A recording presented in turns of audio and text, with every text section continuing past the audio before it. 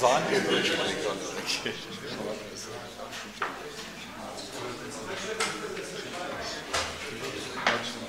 Բան որ կորեսին։ Լավն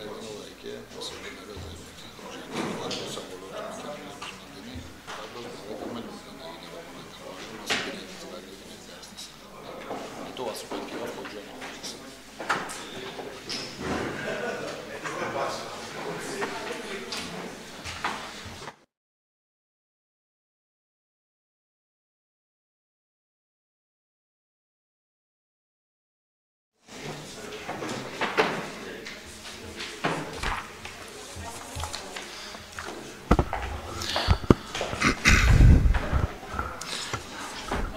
Բարև ձեզ հարգելի գործընկերներ։ Սկսում ենք Հայաստանի Հանրապետության ազգային ժողովի ֆինանսավարկային եւ բյուջետային հարցերի մշտական հանձնաժողովի թիվ 1 նիստի օրակարգը։ Նիստի օրակարգում մենք ունենք ընդգրկված 4 հարց, որից երկուսը փաստացի օրենքի նախագծեր են եւ մենք ունենք բյուջե առաջին կիսամյակի կատարման ընթացքը եւ իհարկե նաեւ մեկ ընթացիկ հարց, որը կապված է երկրորդ կիսամյակի կատարված աշխատանքների վերաբերյալ զեկույց գրասենյակ բյուջետային գրասենյակի եւ իհարկե մեկ ընթացակարգային մեր աշխատանքներին վերաբերվող հարց, որին վերջում կանրադառնանք մինչ այդ գիտեք նախապես արդեն օրակարգը տեղադրված էր կայքում խնդրում եմ հաստատել հանրաժողովի անդամներին խնդրում եմ հաստատել օրակարգը ովքեր են կողմ այս օրակարգով աշխատելու կողմ ունենք 4 կողմ, ինչ այդ նաև տեղեկացնեմ, որ նիստը մեր, այսպես ասենք, իրավազոր է, որովհետև անժշտվով падգամավորներ կան, եւ անցնենք առաջին հարցի քննարկմանը, ազգային ժողովի 8-րդ գումարման 4-րդ նստաշրջանի օրակարգի նախագծում ընդգրկվող հետեւյալ նախագծի վերաբերյալ ազգային ժողովին եզրակացություն ներկայացնելու մասին հարցի անվանումը 2022 թվականի մարտի 15-ին եւ մարտի 18-ին Հայաստանի Հանրապետության եւ Վերակառուցման եւ Զարգացման միջազգային բանկի միջև ստորագրված պետական հատվածի արդիականացման 4-րդ ծրագիր վարկային համաձայնագիրը վավերացնելու մասին հարցը ներկայացրել է Հայաստանի Հանրապետության կառավարությունը հիմնական զեկուցող Հայաստանի Հանրապետության պետական եկամուտների կոմիտեի նախագահի տեղակալ Աշոտ Մուրադյան, պարոն Մուրադյան, համեցեք։ Շնորհակալություն, պարոն Պապյան հանձնաժողովի հարգելի անդամներ, հարգելի գործընկերներ, ձեր քննարկմանն է ներկայացվում Հայաստանի Հանրապետության օրենքի նախագիծը Հայաստանի Հանրապետության ու Վերակառուցման եւ Զարգացման միջազգային բանկի միջև 2022 թվականի մարտի 15-ին եւ մարտի 18-ին ստորագրված պետական հատվածի արդիականացման 4-րդ ծրագիրը վրավարկային համաձայնագիրը վավերացնելու մասին Հայաստանի Հանրապետության եւ Վերակառուցման Զարգացման միջազգային բանկի միջև կնքված վերոհիշյալ համաձայնագիրը պետական հատվածի արդիականացման 4-րդ ծրագիր ընդհանուր արժեքով կազմում է 26 միլիոն 500 հազար եվրո։ Համաշխարհային բանկի աջակցությամբ իրականացված նախորդ 3 պետական պետական հատվածի արտիականացման նախորդ 3 ծրագրի ձեռքբերումների շարունակականությունն ապահովելու եւ լրացուցիչ նորարարությունների ներդրմամբ պետական կառավարման համակարգի արտիականացման նպատակով ՀՀ կառավարությունը նպատակարար է գտել համաշխարհային բանկի աջակցությամբ նախագծել եւ իրականացնել պետական հատվածի արտիականացման 4-րդ ծրագիրը։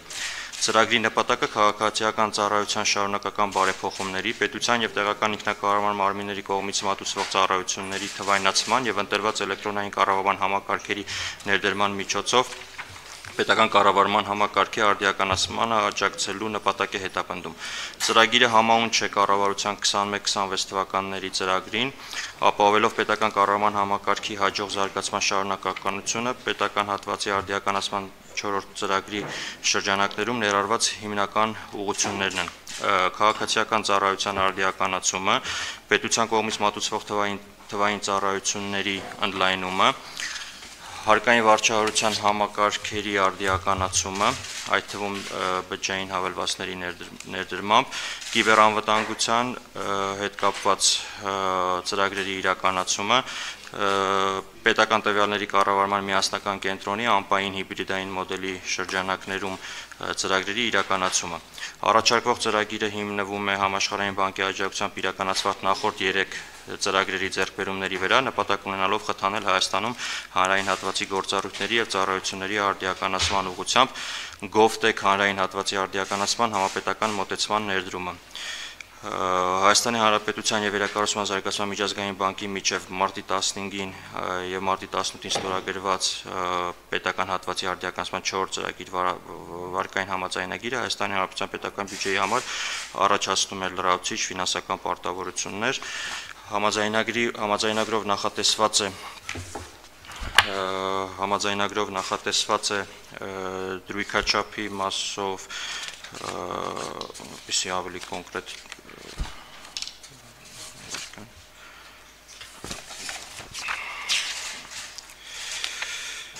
նախատեսված է 0.25% միանվագ կոմիսիոն կոմիսիոն վճար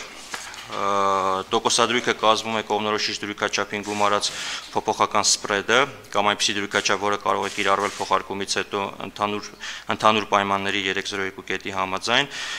վճարման ամսաթվերը յուրաքանչյուր տարվա փետրվարի 15-ը եւ օգոստոսի 15-ն են։ Վարկի մայր գումարը մարվում է համաձայնագրի արդի 3-ին համապատասխան, արդի 3-ով նախատեսված է, որ առաջին մարումը, մայր գումարի առաջին մարումը 2037 թվականին է սկսվում եւ ավարտվում է 2047 թվականին։ 2046 թվականին յուրաքանչյուր վճարման ժամանակ 4.76% մարման մասնաբաժնով հարգելի հանձնաժողովի հարգելի անդամներ, խնդրում եմ հավանություն տալ օրենքի սույն նախագծին։ Շնորհակալություն։ Հարցերին անցնենք, հարցեր կան։ Պարոն Մուրադյան, ես մի շարք հարցեր ունեմ, հերթականությամբ տամ դրանք։ Նախ առաջին հարցը կուզեի իմանայի ինչու է դուք ներկայացնում, այսինքն բեկն է, ինչու է բեկը այս նախագծի դեպքում հիմնական զեկուցողը, երևի թե եւ առաջին հարցը նաեւ դրան միացնեմ, աջակցել քաղաքացիական ծառայության արդիականացմանը ավակ գործադիր կորպուսի ծառայության ներդրմամբ։ Այդ ինչ ծառայություն է, կարծոք այդպեսի ինչ է փոխելու այդ ծառայությունը մեզ մոտ եւ ինչ արժի է ծառայության ներդրումը, որի համար այս վարկային միջոցները մենք վերցնում ենք, որպեսզի ներդնենք։ Շնորհակալություն հարցի համար ֆինանսների նախարարության հետ համատեղ եւ կառավարության վարչապետի աշխատակազմի հետ համատեղ որոշում է կայացվել, որ պետական եկամուտների կոմիտեն լինի հիմնական ներկայացնողը, քանի որ սույն վարկային համաձայնագրի մի մեծ հատված, երևի թե ամենամեծ հատվածը պետական եկամուտների կոմիտեին առնչվող գործառույթներին է վերաբերվում, դա հարկային վարչարության բարելավումներն է մեծ մեծ ծավալի աշխատանքներ ենք նախագծում իրականացնել հարկային վարչահարության առումով եւ հաշվետվությունների ներկայացման, հարկային հաշիվների ձևավորման, բջջային հավելվածների, արհեստական բանականության մեխանիզացված ուսուցման, գործիքակազմի ներդրման եւ պետական կամպների կոմիտեի էլեկտրոնային այլ համակարգերի արդիականացման ուղղությամբ այդ պատճառով համատեղ քննարկման արդյունքում որոշում կայացվեց որ պետական կամպների կոմիտեն մենք մեզ համար պատիվ համարեցինք, որպեսզի մենք ներկայացնենք։ Ինչ վերաբերում է քաղաքացիական ծառայության կառավարման համակարգին, համաձայնագրով նախատես համաձայնագրով նախատեսված է լավագույն միջազգային փորձի հիման վրա ավակ գործադիր կորպուսի մոդելի մշակում, մարդկային ռեսուրսների կառավարման տեղեկատվական համակարգի եւ գործընթացների կատարելագործում եւ քաղաքացիական ծառայության գրասենյակի արդիականացում առաջնորդությունը խթանելու եւ տվյալների վրա հիմնված որոշումներ կայացնելու միջոցով։ Երկար տարիներ է մենք անդադ խոսում ենք քաղաքացիական ծառայության այդ բնակավարում մարդկային ռեսուրսների կառավարման մեկ համընդհանուր մոդելի եւ էլեկտրոնային համապատասխան համակարգի ներդրման մասին այս այս վարկային ծրագիրը գալիս է մեզ օգնելու այդ կառավարության կառավարության նաեւ ծրագրերով նախատեսված այդ մոտեցումները կյանքի կոչելու եթե Շնորհակալություն, բայց դա ինչ է ենթադրում իրենից։ Այսինքն պրակտիկայում ինչ ունենք եւ ինչ ենք ինչ ենք ստանալու։ Այդ այդ ամեն ինչը եւ դա ինչ արժի գնահատականների գնահատականների մասով ամեն առանձին ծրագիր իր գնահատականը այս պահին չունի, դրա համար ես չեմ կարող միանշանակ ասել որ որ ծրագրի համար ինչքան գումար կհատկացվի, որովհետև դրա համար նաև որոշակի աշխատանք է տարվելու միջև ծրագրի սկսելը իր ինչ կտա դա մեզ, դա մեզ կտա, որ մենք ամբողջ քաղաքացիական ծառայության համար կունենանք լավագույն փորձի, միջազգային լավագույն փորձի վրա հիմնված մարդկային ռեսուրսների կառավարման էլեկտրոնային համակարգ, համապատասխան իր KPI-ներով, համապատասխան իր մարդկային ռեսուրսների հետ կառավարման այլ ցուցանիշների, գործոնների համապարփակ ներգրավման եւ որոշումների կայացման համար անհրաժեշտ տվյալների բազայի ձևավորման առումով։ Շատ տավ, ես իմ հաջորդ հարցերը տամ, բայց պարոն Ռոջան, խնդրեմ մի քիչ ավելի հիմնական նիստի ժամանակ մեզ ավելի շատ ինֆորմացիա տաք, թե ինչա դա իրանից ենթադրում եւ ինչ ենք մենք դրա արդյունքում ըստ էության ստանալու։ Բարի։ Երկրորդը ընդլայնել պետության կողմից մատուցվող ծառայությունները թվային ծառայությունները դրանց թիվը հասնելով 350-ից 400-ի։ Սա ինչ ծառայություններ են օրինակ, հա, կարող ենք ընդհանրենք 10 ծառայություն հիմա թվարկել, որ դա թվայնացվելու է այս 30 միլիոն դոլարով կամ 26 միլիոն դոլարով։ Շնորհակալություն, շնորհակալություն պետական մարմինների մի շարք պետական մարմինների կողմից մատուցվող ծառայությունների թվայնացումը նախատեսվում իրականացնել պետական հատվածի ծառայությունների զարգացման զարգացման օրակարգի շրջանակներում կառավարության աշխատակազմի փոխվարչապետի գլխավորությամբ արդեն մոտ 2 տարի է իրականացվում է այդ ծառայությունների նախ քարտեզագրում, երկրորդ ծրագրերի մշակում, որբիսի կոնկրետ ուղություններով ծառայությունների մատուցումը, որոնք որ արկա են ներկայումս, բայց իրականացվում են թղթային եղանակով կամ այլ եղանակներով, թվայնացնենք։ Այս այս վարկային պայմանագրի վարկային համաձայնագրի շրջանակներում մի շարք պետական մարմինների ծառայությունների թվայնացում ենք նախատեսում արդարադատության նախարարության ոստիկանության պետական եկամուտների կոմիտեի տեղական ինքնակառավարման մարմինների կոնկրետ կոնկրետ ծառայությունները, եթե եթե ամեն առանձին ծառայության մասին ենք խոսում, կարող ենք առանձին ցանկեր ներկայացնել, թե որոնք են դրանք, բայց դրանք գույքագրված են եւ կառավարության ծրագրից է բխում, որpիսի հնարավոր բոլոր մատուցող ծառայությունները, որը կարող են իրականացվել թվային եղանակով, թղթային տարբերակից անցում կատարենք թվային թվային ոլորտում, թվային ոլորտին։ Շատ լավ։ Հաջորդ հարցը երևի դրա ավելի շատ ավելի կոնկրետ ձեզ է վերաբերվում, որովհետև արդիականացնել հարկային վարչարարության համակարգերը ապահովելով բջջային հավելվածում հարկային ծառայությունների իրականացումը։ Սա ոնց է պատկերացնում, ինչ աշխատանք կա արված եւ եթե 1-2 օրինակով կարող եք մեզ ներկայացնել, թե հարկատուների համար ինչ է փոխվելու այս համակարգը ներդնելուց հետո մենք համաշխարհային բանկի հետ տարիներ շարունակ իրականացրել ենք թվայնացման ծրագրեր, որոնք կարելի ասել տարբեր շրջանակների փորձագետների կողմից բարձր գնահատականի են արժանացել եւ մատուցում ենք ներկայումս մեր հարկվճարողներին մեծ քանակի թվային ծառայություններ։ Սակայն այդ ծառայությունների շրջանակում չկա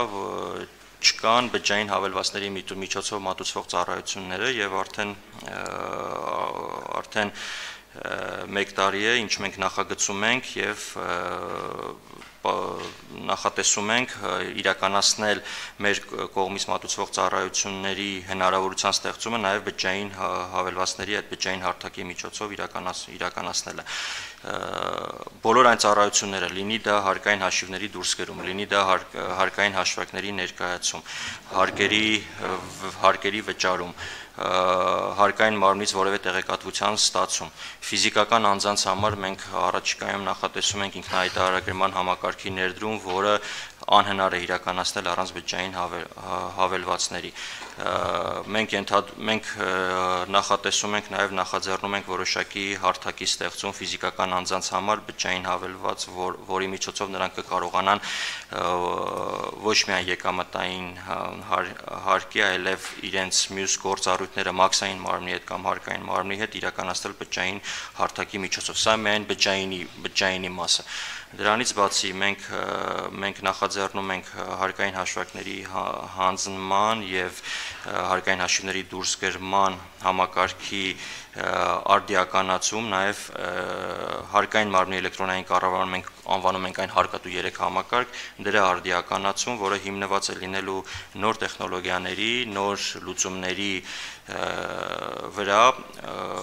ակտիվ եւ ամենակարևոր դերը այստեղ լինելու է բնականաբար արհեստական բանականության մեխանիզացված ուսուցման որոշակի կոմպոնենտների հնարավորինս մեծ մեծ ծավալի մեծ ծավալի այդ գործիքների դրական, այսպես ասած, արդյունքների մեծ ծավալի կիրառմանը, որը բերելու է բնականաբար մեր հարկային վարչարության ավելի թիրախային իրականացմանը, ռիսկերի համակարգի բարելավմանը եւ բնականաբար հարկ վճարող եւ պետական մարմին, այս այս դեպքում պետական կամուտների կոմիտե հարաբերությունների ավելի բարձր մակարդակի բարձրացմանը մին թացակարգային հարց էլի այս գումարը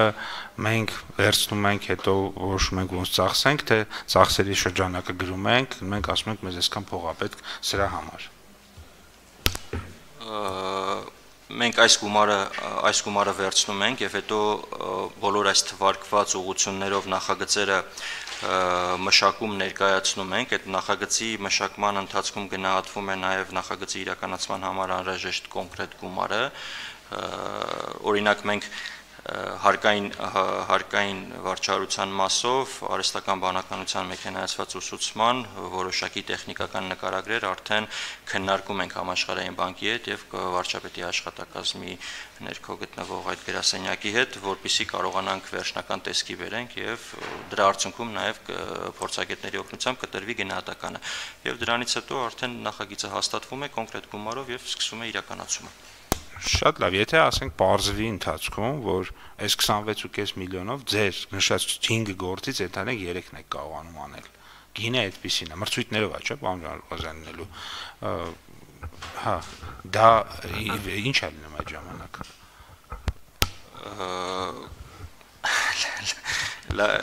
Լավ հարց է, պարոն Պապյան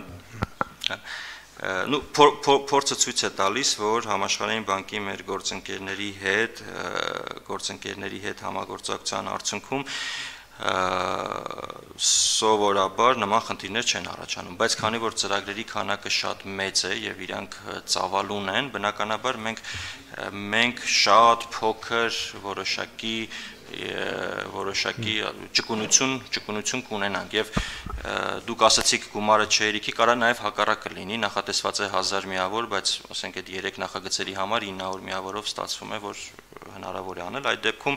այս նույն այս նույն տրամաբանության նույն նախագծերի ներքո կարող ենք կարող ենք մի քիչ ընդլայնել նախագիծը մի փոքր ավելի մեծ շրջանակ վերցնել մի քանի ավելի շատ ծառայություն վերցնել դրանով այդ բացը լրացնել այսինքն այստեղ որոշակի ճկունություն բնականաբար նախատեսվում է սա ընդհանուր ուղություններն են տրված որի տակ ամեն մարմինը իր համար մոտավորապես իր պատկերացումները ունի եւ նախագծման փուլում ներկայացրել թե ինչ ինչ ցանկություններ եւ ինչ նպատակադրումներ կան հետեւաբար նման խնդիր չի առաջանա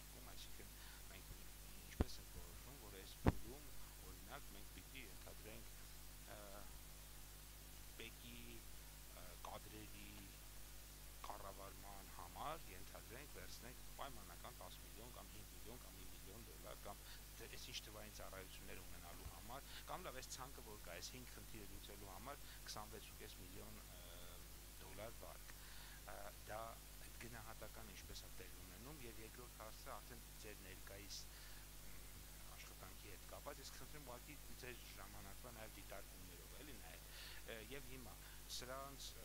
արդյունավետության հարցը որտեղ քննարկվելու է, ուսումնասիրելու է Շնորհակալ եմ, պարոն Պապոյան, ես մեծ բացահայտում առաջ չեմ լինի, կարծում եմ պարոն Խաչատրյանն էլ կհաստատի, ֆինանսների նախարարության տեսակետից բովանդակությունը ամենաառաջնային հարցը չի, այսինքն բովանդակությունը ծախսի ուղղությամբ որոշվում է ելնելով առաջնահերթություններից, այն գերակայություններից, որ կառավարությունը իր ծրագրում հայտարարել է, եւ կարծում եմ պարոն Մուրադյանը հենց այդ էլ նկատի ուներ, երբ որ անդրադարձավ ուղղություններին այս միջոցների ծախսման,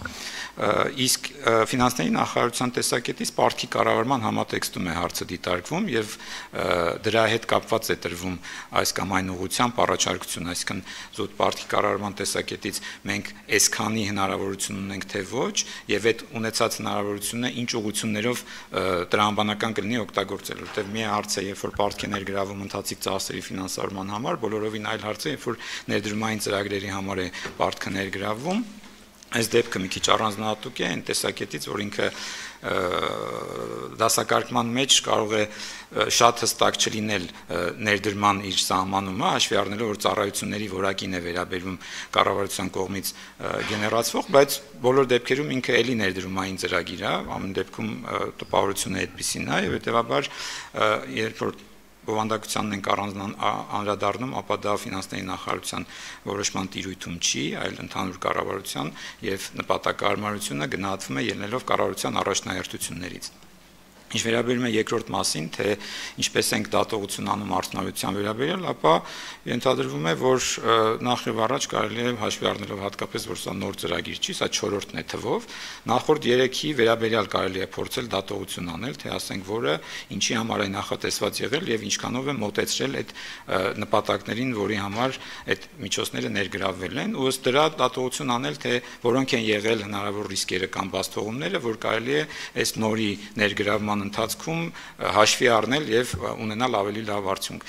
ինչպես միշտ այս դեպքում նույնպես պետք է ասեմ, որ այդ արդյունավետության վերաբերյալ դատողությունը պետք է արվի որոշակի կանոնակարգված տրամաբանությամբ, ոչ թե ճաշակից ելնելով, այլ թե որքանով է ձևակերպված նպատակին մոտեցրել այս միջոցների օգտագործումը, որքանով է մոտեցրել ինչպես ինչ ճունի պալատը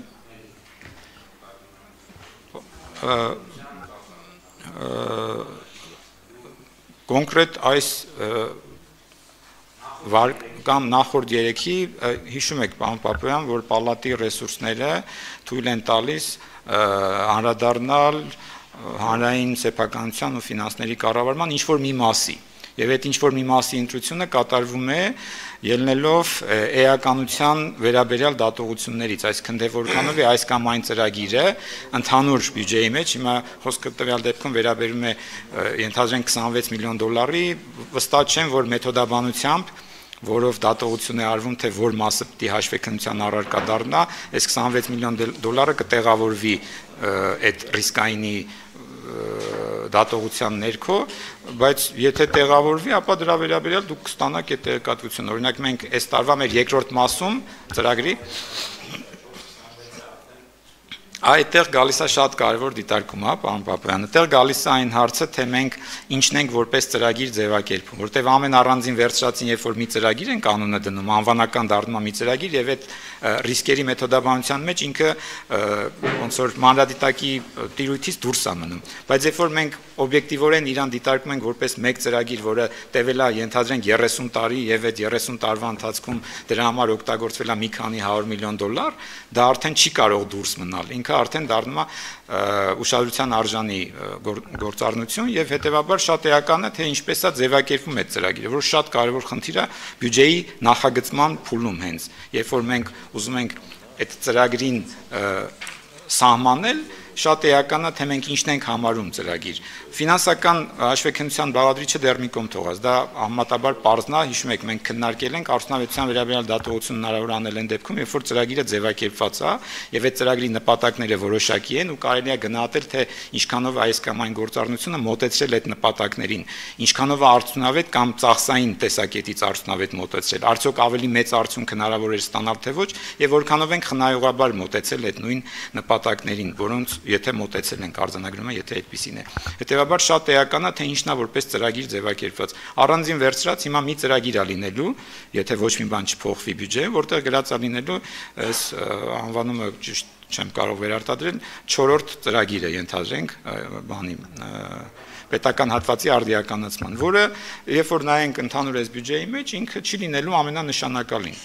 Մենք ինչ որ մասեր այդպես առանձնացրած ունենք, օրինակ այս տարվա մեր ծրագրի երկրորդ մասում կա այդ էլեկտրահաղորդման ցանցին վերաբերող մասը, որը առանձին հաշվեկնության առարկա է եւ մենք այդտեղ պետքա փորձենք դատողություն անել այդ ամբողջական ծրագրի վերաբերյալ։ Այս դեպքում, եթե մեր ծրագրում ինչ որ մի կերպ հայտնվի ամբողջ ծրագիրը առաջինից մինչև 4-րդը ներառյալ ինքը կարող է նաև ձեր ասած տեղեկատվությունը ձեզ տալու հնարավորությունն ունենա պալատը իսկ մինչ այդ եթե ինքը շարունակի մնալ առանձին հատվածավորված մի կտոր օրինակ իմ պատկերացմամբ ինքը կարող է լինել հենց այդ պետական հատվածի արդիականացման ծրագիր անվան տակ ոչ թե մենակ սա այլ բազմաթիվ այլ միջոցառումներ, որոնք տարբեր պետական մարմինների կողմից իրականացման ենթակա միջոցառումներ են, բայց միտված են այդ նույն նպատակներին, որտեղ այն նպատակները, որ այստեղ նշվեցին, որպես կոնկրետ այս վարկային ծրագրի նպատակներ, դրանք մենակ ամենևին իրանց չեն վերաբերում։ Դրանք առանձին վերցրած միջոցառման առումով այո վերաբերում են հենց այդ միջոցառմանը, բայց իրանք ընդհանուր առմամբ հանրային ծառայության որակի բարձրացմանն են միտված։ Շնորհակալ եմ։ Դա շնորհակալություն պարոն Խաչատրյան, ես ձեզ շատ կարճ հարց տամ։ Այս ծրագրի հետ կապված ֆինանսների նախարարությունը, այսինքն պարոն Ջանջուղազյանի պատասխանից ստացանք, որ ինքը չի ըստ էության չի խորանում բովանդակության մեջ, հա, եւ եթե տեսնում ենք, որ ներդրումային ծրագիր է հատկապես, ապա այդպես, հա, ավելի հեշտությամբ առանց ինչ որ լրացուցիչ հիմնավորումների, եթե ես ճիշտ եմ հասկացել, հավանություն եք տալիս, թե ոչ։ Շնորհակալություն պարոն Պապյան հարցի համար, հարգելի գործընկերներ, ես կարծում եմ մի քիչ այլ տեսանկյունից պետք է մեկնաբանել իրավիճակը։ Այս ծրագիրը մեր գալիք բյուջետային տարվա ընդհանուր անելիքների մի հատվածը ֆինանսավորելու վերաբերյալ ծրագիր է մի քանի տարիների, ոչ թե մեկ, որովհետև մենք սկսելու ենք 2023 թվականին հուսով եմ, բայց դա չի ավարտվելու 2023 թվականին։ Իսկ ինչպես բոլոր ծրագրերը կառավարության գործնեության հիմքում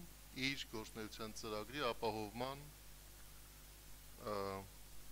բովանդակություն եւ ֆինանսական միջոցներ բյուջեով արտացոլելու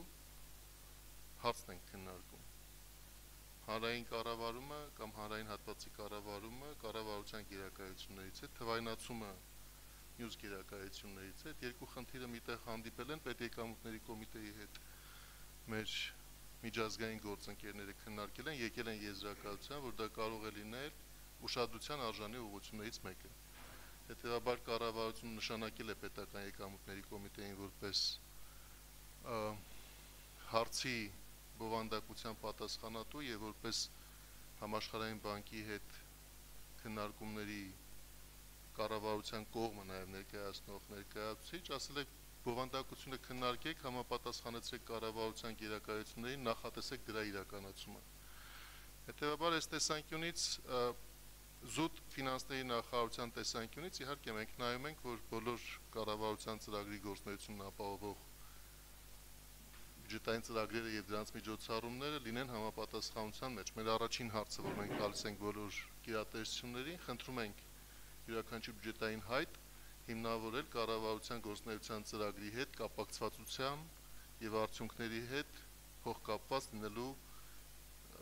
հարցի տեսանկյունից։ Երբ որ այդ հարցի պատասխանը դրական է, մենք նայում ենք տեսնենք այն ֆինանսական կարիքները, որ ներկայացված են տվյալ տարվա անելիքների կազմում, որքանով են ենթարկվում այն ծախսային սահմանափակումներին, որոնք կառավարությունն ունի իր ֆիսկալ կառավարելիության շրջանակը չխախտելու համար, որն էլ ազգային ժողովը ի վերջո հաստատում է օրենքի տեսքով։ Այսինքն սրանք բոլորը շղթայական փոխկապված քայլեր են, որոնք որ մենք մեկ միասնության մեջ ենք տեսնում եւ այս դեպքը առանձնահատուկ չի։ Եթե նա առանձին վարկային ծրագրի միջոցով է իրականացվում, դա ընդհանրապես նշանակում է մեկ բան, որ կառավարությունը կարևորել է, որ համաշխարհային բանկը իր փորձառությամբ լինի աջակցող եւ ուղեկցող, այսինքն թե ծրագրի սահմանման, թե արդյունքները նկարագրելու, թե իրականացման ժամանակահատվածում հավանական խնդիրները միասին քննարկելու հետ կարգավորելու տեսանկյունից եւ դարձրել է այս ծրագրի իրականացումը համաշխարհային բանկի եւ կառավարության համագործակցության առարկա։ Սրանով է առանձնահատուկ։ Շնորհակալ եմ։ Շնորհակալ եմ, պարոն Խաչատրյան։ Իմ հարցը մի փոքր այլ է, տեսեք։ Կառավարությունը հայտարարում է, որ իրեն պետքա գրիչ։ Ծրագրում գրածա, որ գրիչ է իրեն պետք։ Ձեզ բերում են վարկային ծրագիր, որով մենք առնում ենք գրիչ։ Իսկն ակնհայտ է, որ համապատասխանություն կա ձեզ օրինակ հետաքրքրում է թե այս գրիչի համար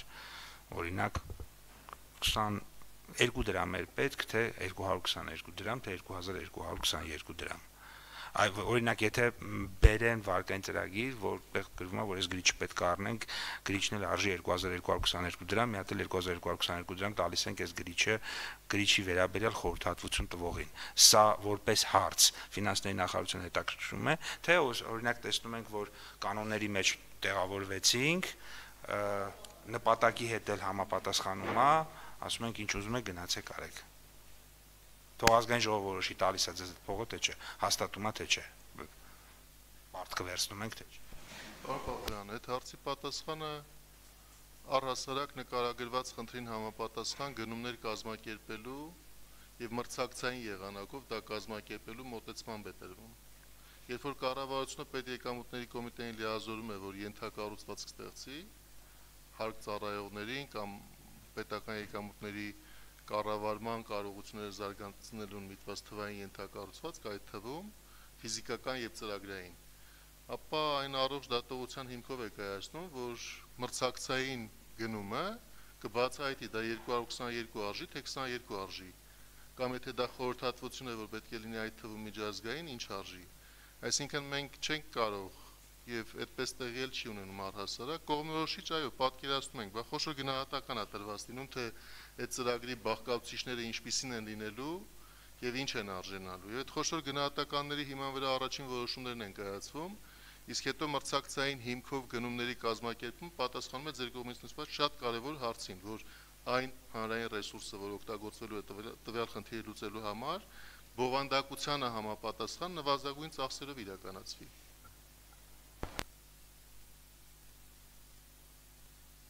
Համեսեք բան։ Շնորհակալ եմ, պարոն Պապոյան։ Հիմա էլի երևի ճիշտ կլինի հաշվի առնել նաև վիճակագրությունը, այսինքն այդ ձեր հարցի պատասխանը շատ հեշտ կլինի հավանաբար, եթե դիտարկվի նախորդ համանման ծրագրերը եւ տեսնեք թե որքանով են ի սկզբանե հայտարարված ուղությունները պահպանված, որտեղ դրանք կարող են իր կյանքի ընթացքում այդ վարկային համաձայնագրերի կյանքի ընթացքում նաև վերանայված լինել։ Այդ վերանայումներն էլ իրենց հիմնավորումները պետք ունենան եւ դրանց շրջանակում որքանով է ձեր ասած խնդիրը լուծված, այսինքն որքանով է, ինչպես պարոն Խաչատրյանն ասաց, մրցակցային ընթացակարգ եղել։ Իրական մրցակցային է, ունեցել են ռիսկեր արտամրցակցային համաձայնությունների թե չեն ունեցել։ Դրանց արդյունքում ստացած վերջնարդյունքը ըստ էության նպատակին մեզ մոտեցրել է պարոն Խաչատրյանը ինչպես նշեց լավագույնս, թե մենք կարող ենք ավելի խնայողաբար այդ նպատակին հասնել։ Եվ ի վերջո մոտեցել ենք այդ նպատակին, թե չէ, առաջին հարցը պիտի դա լինի առաջին պատասխանը որ պիտի փորձենք ստանալ դա է եւ դա թույլ կտա դատողություն անել նաեւ այս առաջիկա կանխատեսվող միջոցառման վերաբերյալ թե մենք ինչքանով ենք այդ կողմնորոշիչ պատկերացումը ճիշտ ձևավորել այն ինչ որ ես սկզբում ասացի, դա նկատնում եմ, որ փորձենք սովորել այդ մեր նախքին, եթե ունեցել ենք բաստողումներ, այդ բաստողումների վրա, քանի անգամ ենք օրինակ հետաձգել այդ նույն 3 պայմանագրերը վարկային, որ ունեցել ենք։ Դրանք կատարվել են իրեն ժամանակին, թե ոչ այդ հետաձգվելու ընթացքում ինչ չափով են վերանայվել 100%-ով 30 թե այլ տարբերություն առաջացել այսպիսի հարցերի պատասխանները որ լինի ենթադրում որ հետո ավելի հեշտ կլինի ապագայի համար որոշումներ կայացնել շնորհակալ եմ Պարոն Խաչատրյան, ֆինանսների նախարարությունը կարող է մեզ տալ ինչ որ տեղեկանք պարոն Ջանջուղազյանի բարձրացած, իմ բարձրացած հարցերի վերաբերյալ եթե կարելի է մինչև լիագումար նիստը, որովհետեւ մենք մեր ձեռքի տակ ունենանք նաև լիացուցիչ, այսպես ասած, հիմնավորում որպես քվեարկությունից առաջ նախորդ, ասենք երկրորդ, երրորդ պետական հատվածի, այո։ Հանրային կառավարման բարեփոխումների նպատակներ գիրառված 3 վարքային որ անցածվում է եւ ստորագրված ուժի մեջ մտած երկրի նախապետում որ պետք է հավաքվեն, ինչին անգամ բարեկամությունները մնացած, դրան ինչպես են իրականացել շահիդները, քանի անգամ են իրականացել։ Ամբողջ ինչ են արվել եւ այլն։ Դա։ Ինչ են արվել Դե ավելի կոնկրետ ես մասով, հա։ Յուրաքանչյուր վարկային ծրագրի առաջությամբ ներկայացնենք։ Շատ շնորհակալություն, պարոն Մուրաձյան, դες էլ կխնդրեմ նույն կերպ տեղեկանք, բայց սրա հետ կապված ավելի մանրամասն, ավելի դետալային մենք ինչ ենք նախատեսում անել։ Բարի, եթե թույլ տաք երկու բառ ավելացնեմ, գործընկերների գործընկերների ասացին դուք երկու կարևոր հարց բարձրաձայնեցիք արդյունավետությունը ծրագրի իրականացման, ասեմ, որ նախորդ ծրագրերը, որոնք որ առաջվել են հարկային վարչահարությանը, համաշխարհային բանկի կողմից բարբերաբար յուրաքանչյուր տարի հարցումներ են իրականացվել հարկվճարողների շրջանում, որպեսզի գնահատենք, թե որքանով են իրանք բավարարված եւ որքանով է ծառայությունների մատուցման որակը բարձրացել։ Եվ տարիներ շարունակ ծրագրի իրականացմանը զուգահեռ նկատվել է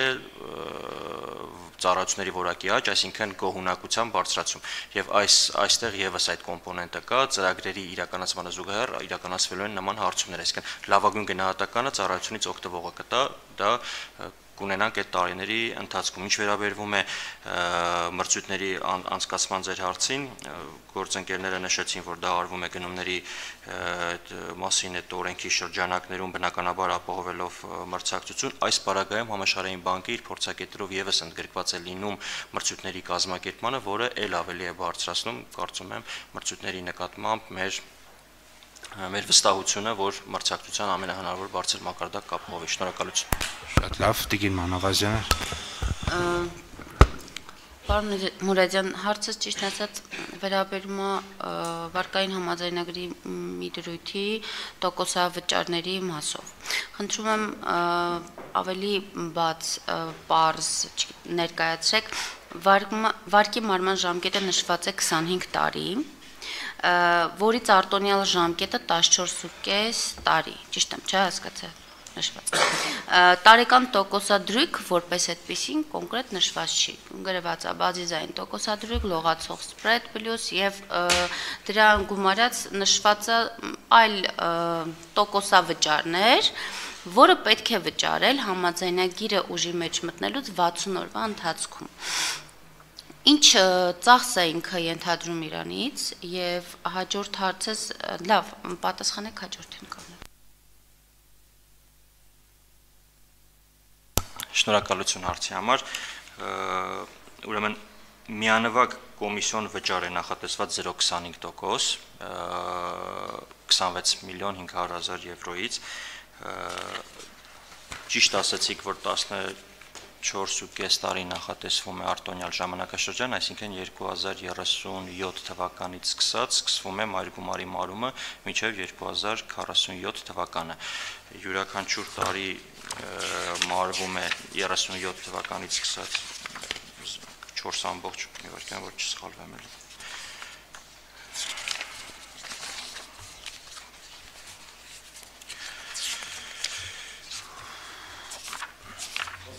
կներեք յուրաքանչյուր տարի մարվում է 4 ամբողջ տարեկան երկու անգամ փետրվարի 15-ին եւ օգոստոսի 15-ին 4.76% մայր գումար եւ 2047 թվականի փետրվարի 15-ին վերջին վերջին մարումը լինում է 4.8%։ Դրանով 100%-ը լրացվում է։ Ինչ վերաբերվում է տոկոսադրույքին, այն կազմում է կողմնորոշիչ դրույքաչափ, որը որը այս պահին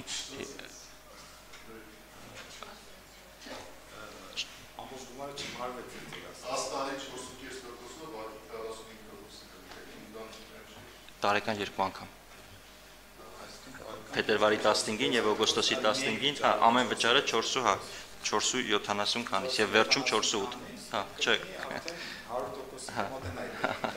չէ կազմում է 100% հա ամբողջությամբ մարելու ենք հա կոմնորոշիչ դրույքաչափ կոմնորոշիչ դրույքաչափը նա դա եվրոլիբորն է որը այս պահին 1.20 1.29% է կարծեմ, դա փոփոխվող է, դա parberabar փոփոխվում է, հրապարակվում է, այս դեպքում ը, 6 եվրոլիբորի 6 ամսյա դրույքաչափն է վերցվում 1.29% է այս պահին։ Եվ դրան գումարվում է բանկի փոփոխական սփրեդը, որը այս պահին կազմում է 0.97%, դա եւս կարող է փոփոխվել։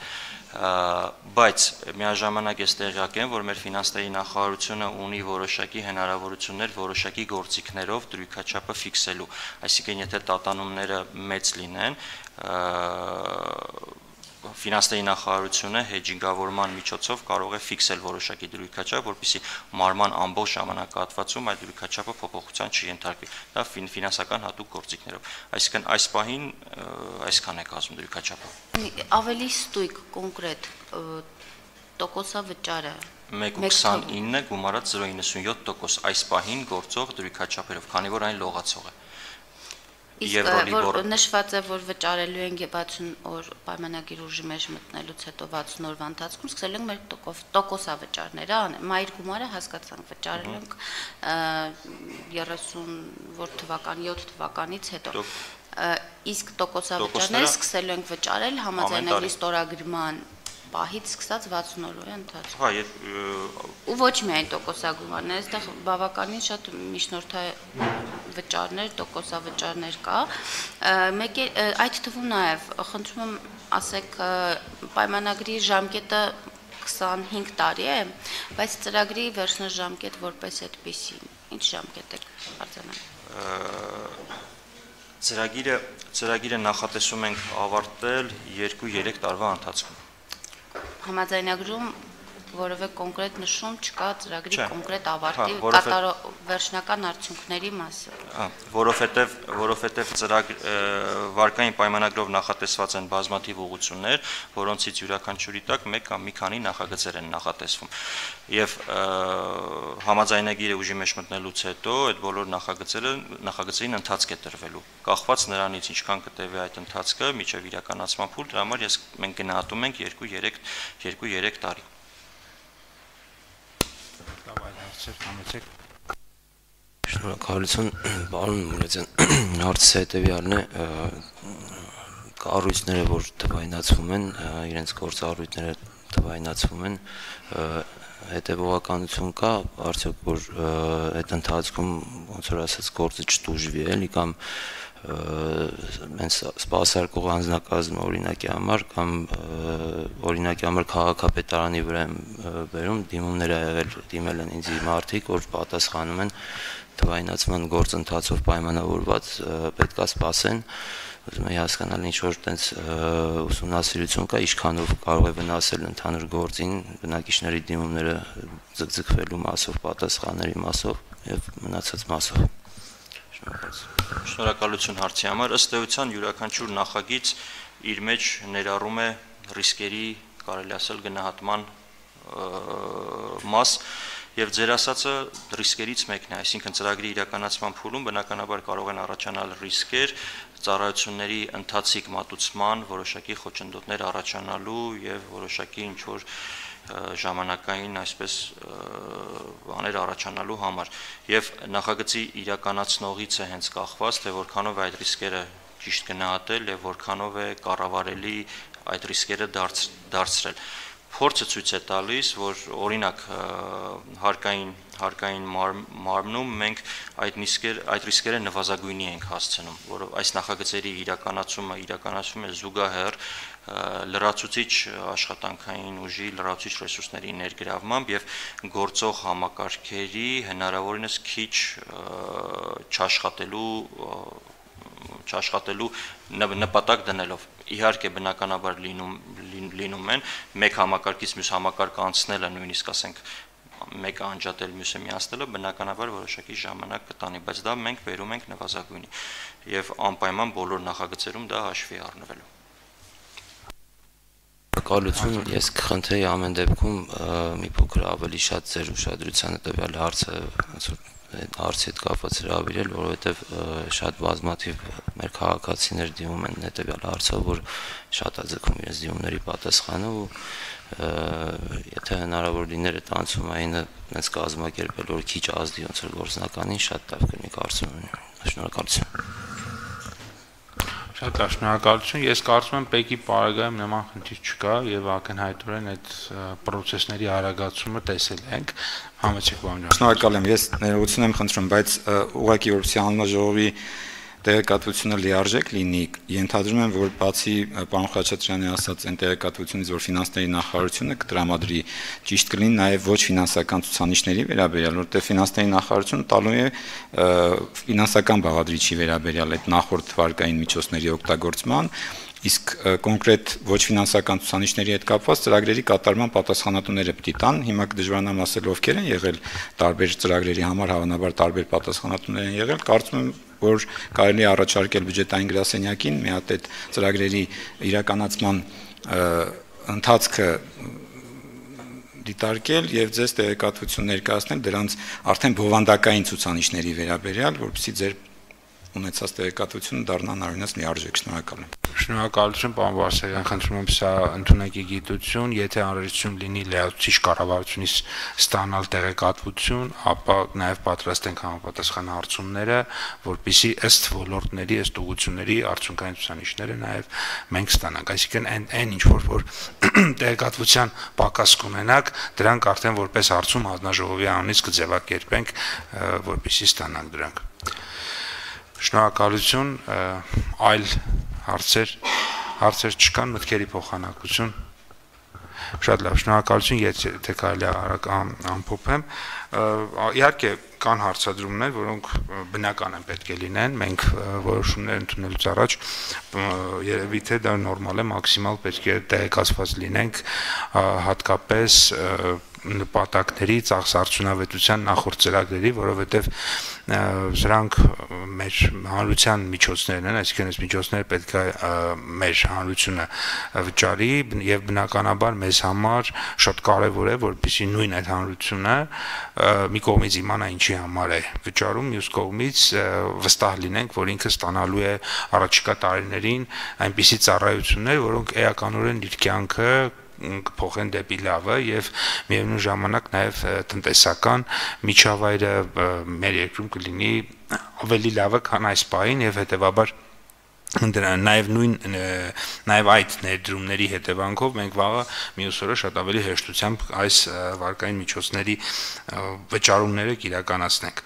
այս առումով կարծում եմ որ հետաքրքիր էր քննարկումը մեզ համար կարևոր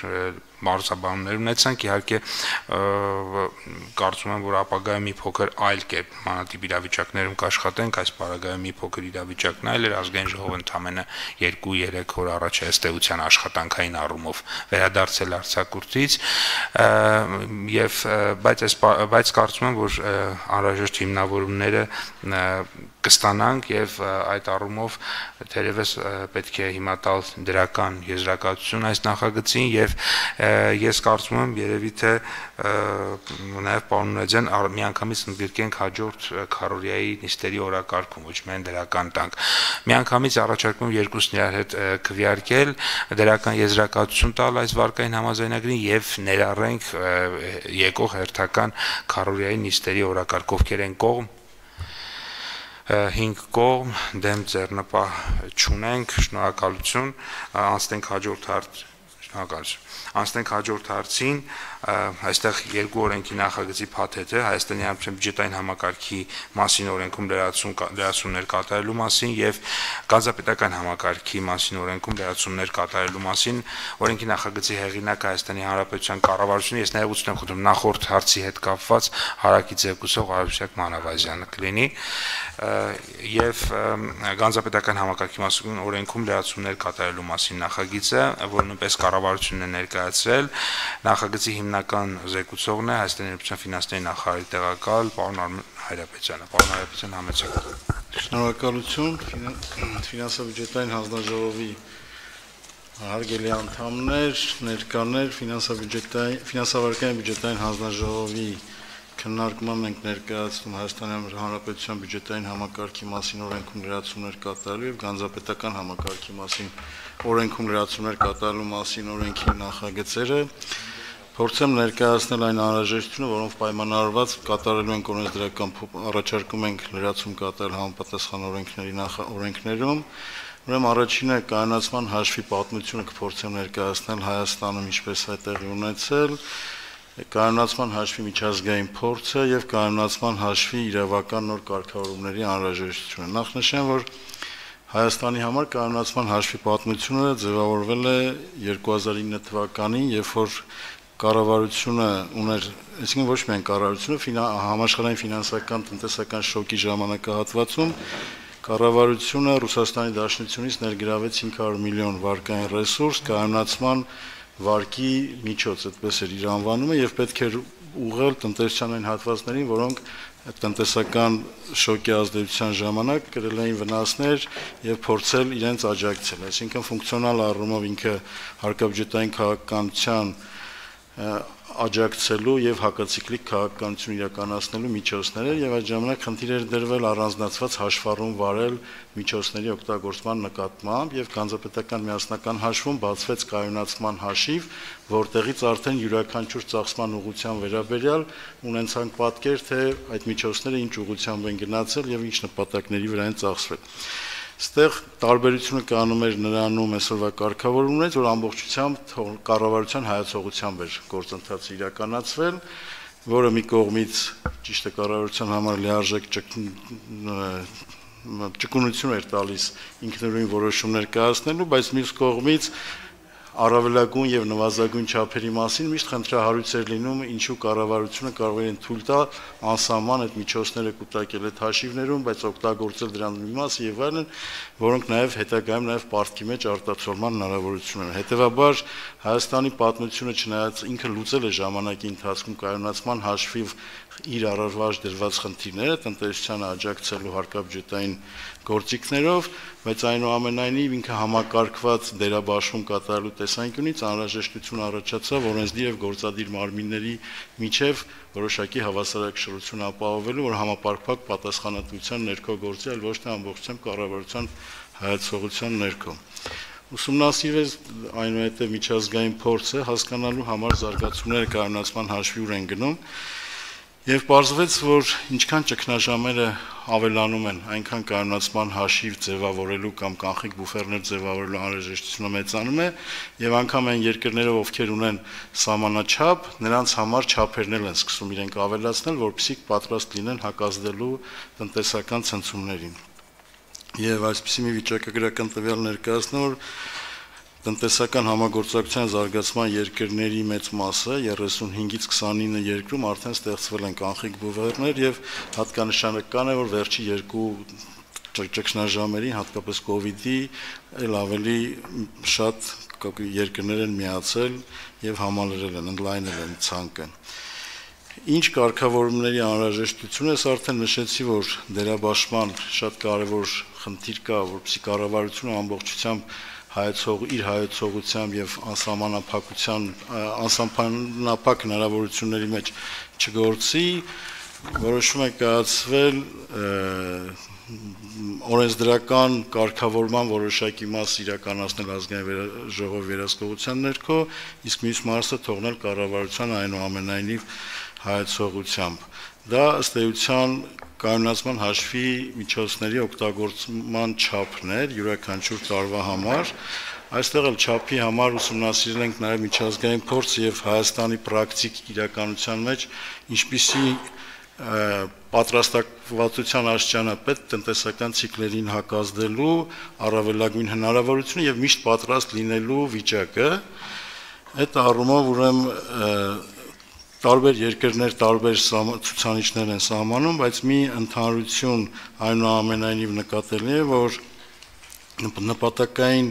սահմանաչափը որոշելիս կարևորվում է պարտքը մարելու կարողությունը շարունակելը, որովհետեւ երկիրը կարողանա իր պարտքային պարտավորությունները այնուամենայնիվ շարունակել, երբ որ ինքը խնդիրներ ունենում եւ հնայի մեծությունը, այսինքն երկրի ունեցած եկամուտների մեծության չափը Հայաստանի փորձով հասկացել ենք, թե մեր համար ինչպիսի շոկն է, ինչ ժամանակահատվածի որ պարտքը մարելու կայուն շարունակելու հնարավորությունը պիտի տրված լինի դա 4 ամսվա մեր պարտ մարելու կարողությունը, որ պիտի լինի անկախ նրանից մեր եկամուտների հնարավորությունը կլինի թե չի լինի, եւ երկրորդ այն չափը, որով բարբերաբար բոլոր շոկերի ժամանակ կառավարությունը հակազդել է, այդ չափը ինչպիսին է, դա եղել է 2%-ի շրջանակներում։ Հետևաբար նպատակային միջակայքը առաջարկվում է յուրաքանչյուր տարվա հնայ համ, համախառն ներքին արդյունքի 1-ից 2% չափով ունենալ կանխիկ չասեմ կանխիկ կայունացման հաշվում մնացորդ, որպեսզի կարողանանք պատրաստ լինել արձագանքելու եւ մեր արձագանքը լինի այն արդյունք բերող, այսինքն տնտեսությանը վերականգնվելու հնարավորություն տվող չափով։ Իսկ մյուս մասով արդեն այդ միջոցների օգտագործման եւ ծախսման համալրման լիազորությունը արդեն վերապահվելը կառավար, այսինքն ազգային ժողովը վերապահելու է լիազորություն կառավարությանը, որպեսզի կառավարությունը ինքը արդեն ձևավորի իր լիազորությունների շրջանակներում իր գործելու մեխանիզմները, թե ինչպես է ինքը պատկերացնում գործել։ Այստեղ կարող եմ ասել, որ հիմնական նպատակի տեսանկյունից լինելու է աջակցել հարկաբյուջետային կառնության պահպանմանը եւ տնտեսական շոկերի ինչի մասին արդեն խոսեցի, աջակցել կառավարության պարտքի կառավարման քաղաքականությանը, այսինքն որ մենք սահուն մենք կարողանանք մեր պարտքային քաղաքականությունը կառավարենք, աջակցել կանխիկ հոսքերի կառավարման քաղաքականությունը, սա պարտքի կառավարման բաղադրիչ է ուղղակի կանխիկ հոսքերի տեսքով, որ միշտ կանխիկ հոսքի լիկվիդայնությունը ապահովված լինի եւ մենք խնդիրներ չունենանք։ Այսքանը, եթե կլինեն հարցեր ավելի մանրամասն կարող եմ ներկայացնել։ Շնորհակալություն։ Համեցեք դեպի մանուս։ Պարոն Հայրապետյան, ես ճիշտ ուզում հասկանալ ճիշտ հասկացա հետեւյալը, որ կայունության միջոցների ենթահաշիվը ունենում ենք գանձապետարը գանձապետական հաշվինքից ենթահաշիվ, իր ծախսման ուղությունները կոնկրետ որոնք են, որտեվ դուք եւ նշում եք հակաճգնաժամային հակ, շոկերի հակազդեցության ուղությամբ ծախսելու նպատակ եւ նշում եք պարտքերի միայն պարտքերի մարման նպատ կոնկրետ կան ուղություններ, որը պետքա այդ ենթահաշվից կատարվի։ Շնորհակալություն նախ ասեմ երևի գանձապետական համակարգը մասով ճիշտ կլինի մի փոքր բարձաբանեմ, ուրեմն գանձապետական միասնական հաշիվ ունենք, որտեղ կան դեպոզիտային հաշիվներ։ Օրինակ հարկերի միասնական հաշիվը հարկատուների դեպոզիտային հաշիվը, ինչը ենթադրում է, որ այլ միջոցներ են գանձապետական միասնական հաշվում կամ համայնքների միջոցները։ Նույն ձև 2009 թվականին դեպոզիտային հաշիվը բացվել գանձապետական միասնական հաշվում, որը իրավական տեխնիկայի առումով նշվում է ենթահաշիվ գանձապետական միասնական հաշվում։ Եվ հետեւաբար այդ հաշվի օգտագործումը ինքը արդեն որոշակի սահմանափակումների ներքո է տեղի ունենում նախորդ կարգավորումների ժամանակ ամբողջությամբ կառավարության որոշումներով կարգավորվող հարաբերություններ են եղել, այսինքն ցանկացած ավելացում կամ նվազեցում այդ հաշվի դրա համար ընդունվել է կառավարության որոշում։ Ինչ վերաբերում է ուղղությունների մասով։ Ուղղությունները դժվար է ասել կախված է տնտեսության իրավիճակից։ Իմանայք 2000 Այո, այդ ճկունությունը կառավարությունը ունենալու է Այո, երբ որ ունենալու ենք տնտեսական բացական աճ, օրինակ, հա, կամ տնտեսական վատ իրավիճակ տնտեսության համար հասկանալու ենք աջակցությունը ինչպիսին պետքա լինի, այսինքն մենք պատրաստ ենք ընդլայնող լինել ծախսել, բայց պետք է այդ ծախսը ծախսը ուղղված լինի այն խնդրին, որը կվերադարձնի այն իրավիճակին, որը մենք ունեցել ենք։ Հետևաբար ինքը սպային դժվար է ասել թե կոնկրետ որ խնդրին կգնա, բայց ինքը կուղվի այն խնդիրներին, որը որը շոկը իր ազդեցություն ունեցել է։ կ ូវ իդի ժամանակ առողջապահական խնդիրների ուղղությամբ անլայնվել, ֆինանսատնտեսականի ժամանակ, եթե հիշում եք համակարգաստեղծ ձեռնարկություններին, շինարարների որոշակի չափով, այսինքն ազդեցությունը որտեղ կլինի շոկը, ստեղ ուղակի հնարավորությունն է նախատեսվում դրան հակազդելու։ Իսկ առանձին ուղղությունները արդեն կառավարությունը ճկուն կլինի ըստ կախված շոկի ազդեցության կորոշի։ Շնորհակալություն։ Համեցեք, պարոն Խաչատրյան։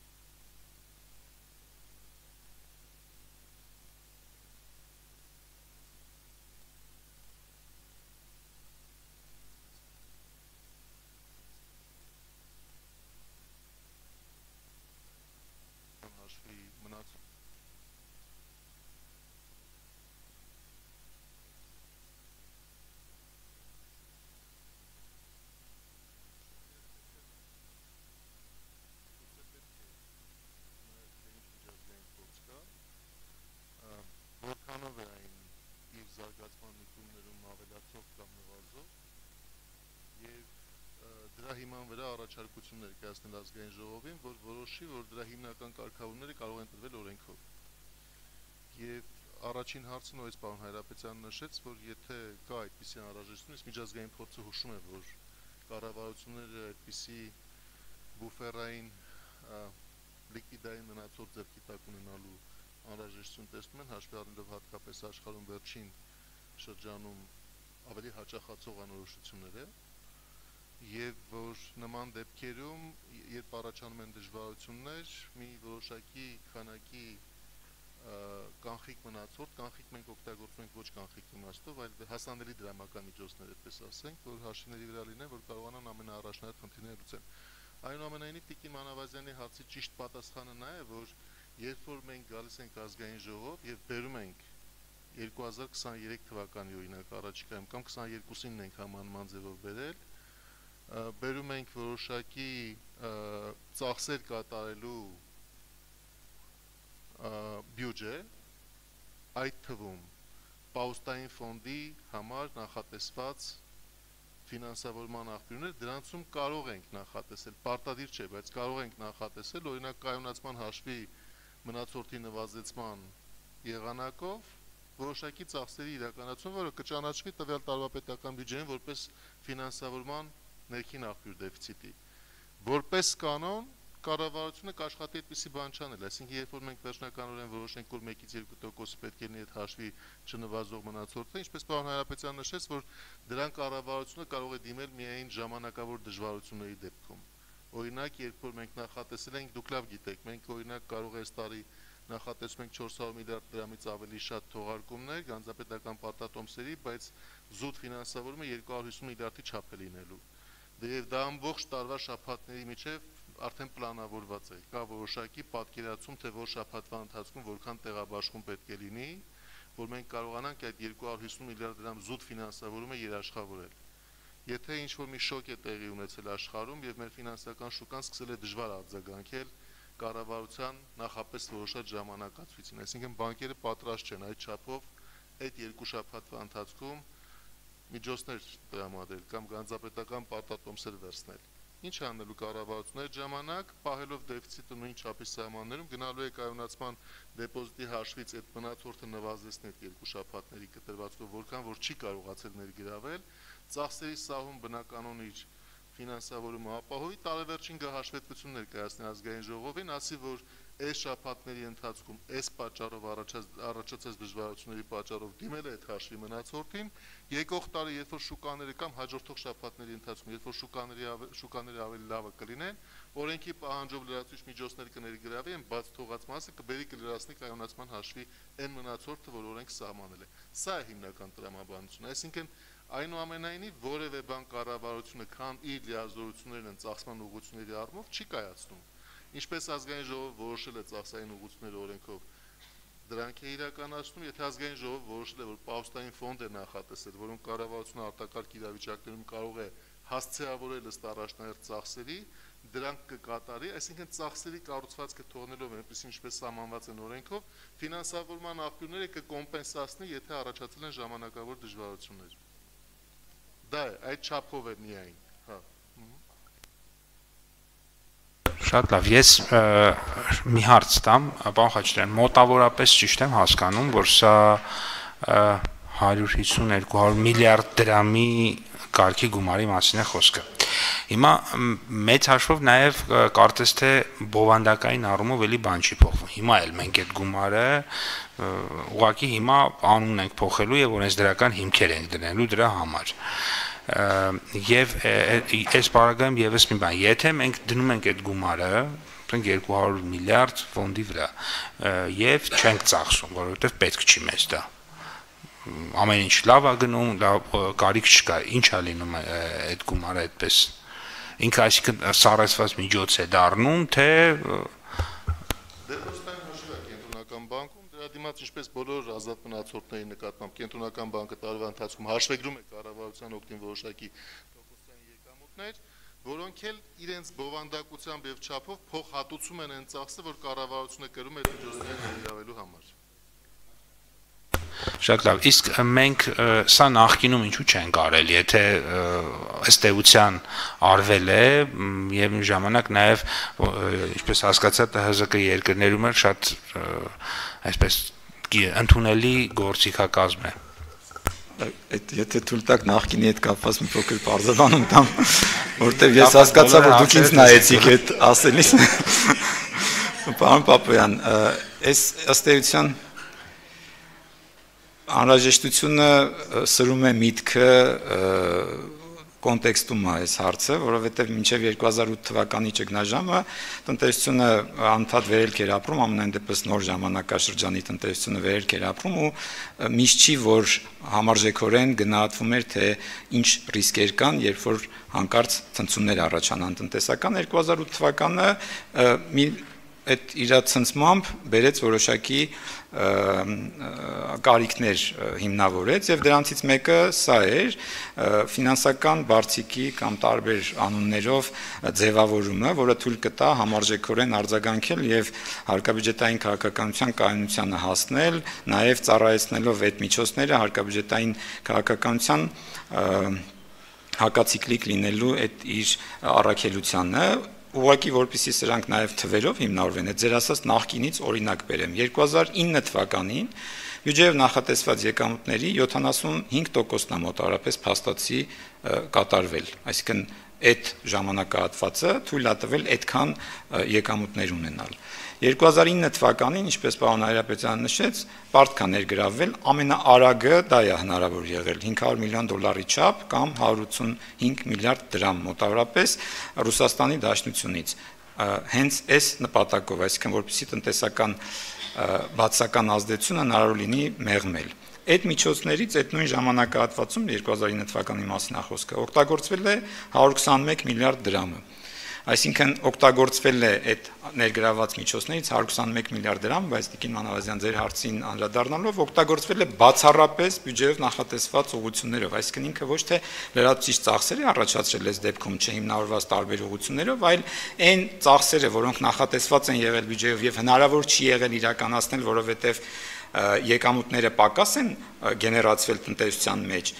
իրականացվել է նաև այս միջոցների օժանդակությամբ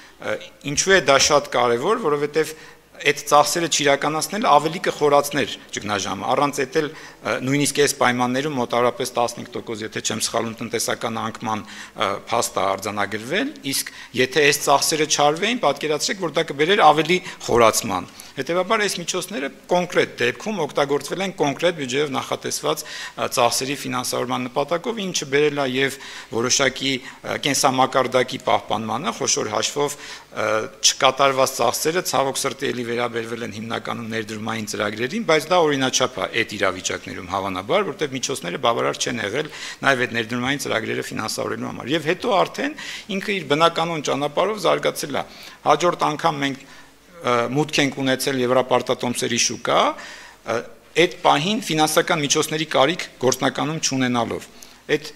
անհրաժեշտ էր մեզ, որpիսի մենք նախ մեր ինքնագնահատականը կարողանայինք ունենալ, հայտնվեինք ֆինանսական քարտեզի վրա համաշխարհային եւ ըստ անհրաժեշտության մեր համար որպես աղբյուր դիտարկեինք նաեւ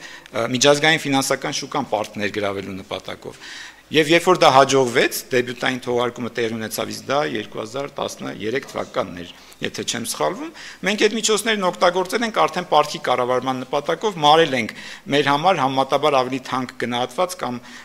ոչ նպատակարար համարված Ռուսաստանի Դաշնության վարկը, բայց կանոնացման դեպոզիտային հաշիվը պահպանվել է, որը մեզ թույլ է տվել 14 թվականին, արդեն 15 թվականին այդ անկմանը հակազդել, թույլ է տվել նաև հետո հակազդել, ինչը պետք է արձանագրել, որ որպես կանոն մեծ քննադատության առարկա է դարձել, դուք կարծում եմ հիշում եք, որ մեզ անընդհատ քննադատում էին այն հարցի հետ կապված, որ այդքան միջոցներ կան գանձապետական միասնական հաշվում, բայց դուք դրանք չեք օգտագործում օրինակ ամենախոցելի խավին օժանդակելու համար։ Եվ մեր բոլոր ջանքերը հուսով են որ տվեցին իրենց արդյունքը եւ այդուհանդերձ ընկալվեց, որ այս միջոցները այն միջոցները չեն, որոնցով հնարավոր է գնալ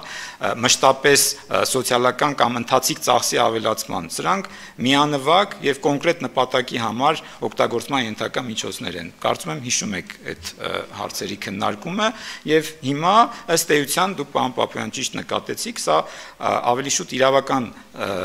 դաշտում հարցի կարգավորումն որտեղ մինչև էտել է գործընթացը եղել ամբողջությամբ իրավական։ Ինչպես նշեցին պարոնայք, այդ հաշվետվությունները ներկայացվել է, դրա մեջ եղել է այս ամբողջ տեղեկատվությունը, որոշումները հրաապարակային կայացվել, այսինքն ոչ մի այսպես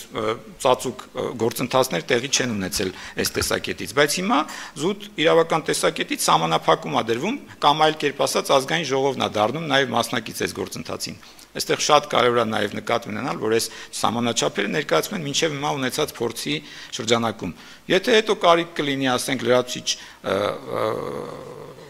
չափականակի կդիմի կառավարության ազգային ժողովին կքննարկվի, որոշում կկայացվի, ինչպես դա եղել է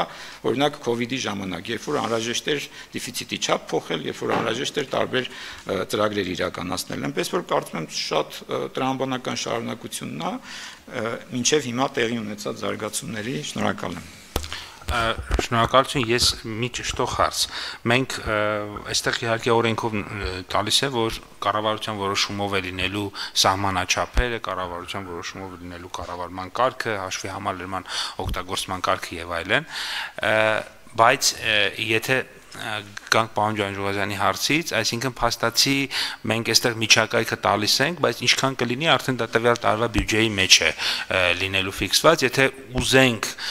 փոխել այդ միջակայքից դուրս գալ, պետք է մի հատ առանձին կառավարությունը իր կարգը փոխի ենթադրում եմ, չէ՞, արդեն որովհետև ոչ թե օրենքը, որովհետև օրենքը ազգային ժողովը բյուջեն ընդունելուց արդեն իսկ այդ գումարի չափը կֆիքսի, բայց օրենքը սահմանաչափ չի սահմանում։ Սահմանաչափ տալիս է սահմանաչափ սահմանելու կարողությունը կամ իրավունքը կառավարությանը։ Հա մի ենթադրական բան ասեմ, որովհետեւ պարոն Պապյանես ինչ որ ես հիմա կասեմ, դեռ պետք է մանրամասն քննարկվի եւ հետո որոշվի։ Օրինակ, այսպես եմ պատկերացնում. 2022 թվականի պետական բյուջեում ի սկզբանե մենք նախատեսել ենք, որ մոտ 50-60 միլիարդ դրամ, եթե չեմ սխալվում, մնացորդի նվազեցման հաշվին պետքա դեֆիցիտի ֆինանսավորում ապահովենք։ Երբ որ մենք այս իրավակարգավորումը ամբողջացնենք, կարծում եմ այդպիսի բան չենք անի, այլ կանենք հետեւյալը։ Կասենք արտաքին աղբյուրների հաշվին ֆինանսավորող դեֆիցիտը այսքան է, ներքին աղբյուրների հաշվին դեֆիցիտը այսքան է, այդ երկուսը այն հանրագումար երաշխավորված դեֆիցիտի ֆինանսավորումն է, որ միջոցների ներգրավման եղանակով կկատարի կառավարությունը տարվա բյուջեի ծախսերը սահուն, կանոնավոր իրականացնելու համար, եթե ինչպես նշվեց պարոն Ջանջոհազյանի կողմից 2009 թվականի օրինակով ինչ-ինչ արտակարգ պատճառներով հարկային եկամուտները չկատարվեն նախատեսվածից կամ կատարվեն նախատեսվածից պակաս, օրինակ 50 միլիարդ դրամ չափով, ապա այդ նվազ մասը կարող է ֆինանսավորվել կայունացման հաշվի մնացորդի հաշվին, այսինքն ինքը կնախանշի դեֆիցիտի ֆինանսավորման մի հատ երրորդ բաղադրիչ, բայց պայմանով որ ամեն րոպե կառավարությունը չգնա այդ մնացորդից գումար վերցնի այլ օրենքը նախապես կառավարությանը տվել է լիազորություն ասել է դեպքերը ես թվարկում եմ թե որոնք են եթե այս դեպքերը տեղի կունենան դու կկարողանաս հիմնավորել որ քեզանից չկախված հանգամանքներում արտակարգ իրավիճակ էր առաջացել ապա այդ մնացորդը նվազեցնելու հաշվին կանես դա բայց սա նորից եմ ուզում ասել որ լրացուցիչ եւս մեկ քննարկման առարկա է։ Մի հատ կնայենք տեսնենք ինչպես են համանման իրավակարգավորումները մյուս դեպքերում տրվել, նման տրամաբանությամբ էլ կսահմանենք մոտավոր։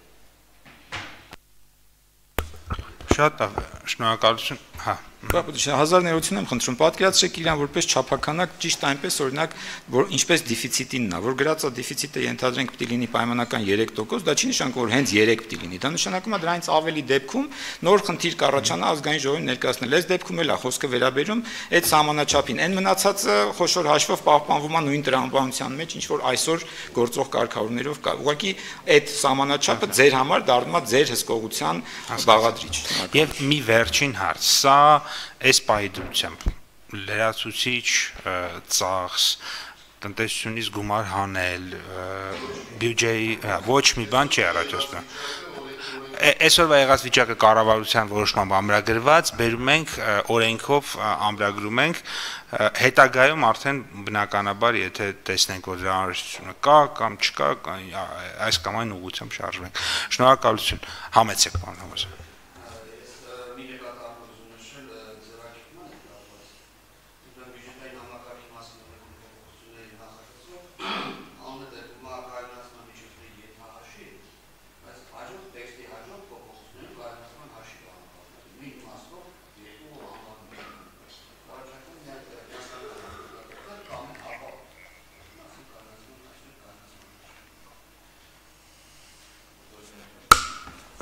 Շնորհակալություն իրավաբանական վարչություն ազգային ժողովի աշխատակազմի համանման այլ առաջարկություններ էր ներկայացրել, մասնավորապես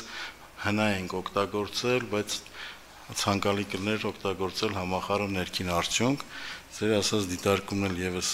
ճիշտ կլինի որ տեքստում միանման օգտագործենք առաջինից երկրորդ ընթերցման ժամանակ բոլոր այդ կարգի առաջարկությունները մենք ամփոփենք որ ավելի իրավական լեզվի տեսանկյունից հստակ լինի ամեն շնորհակալություն Դե նաև ունենք այդպիսի առաջարկ, երկե կներկայացնեն հնա է օգտագործված, հա, բայց Պարոն Թամազյան, ավելի բովանդակային հա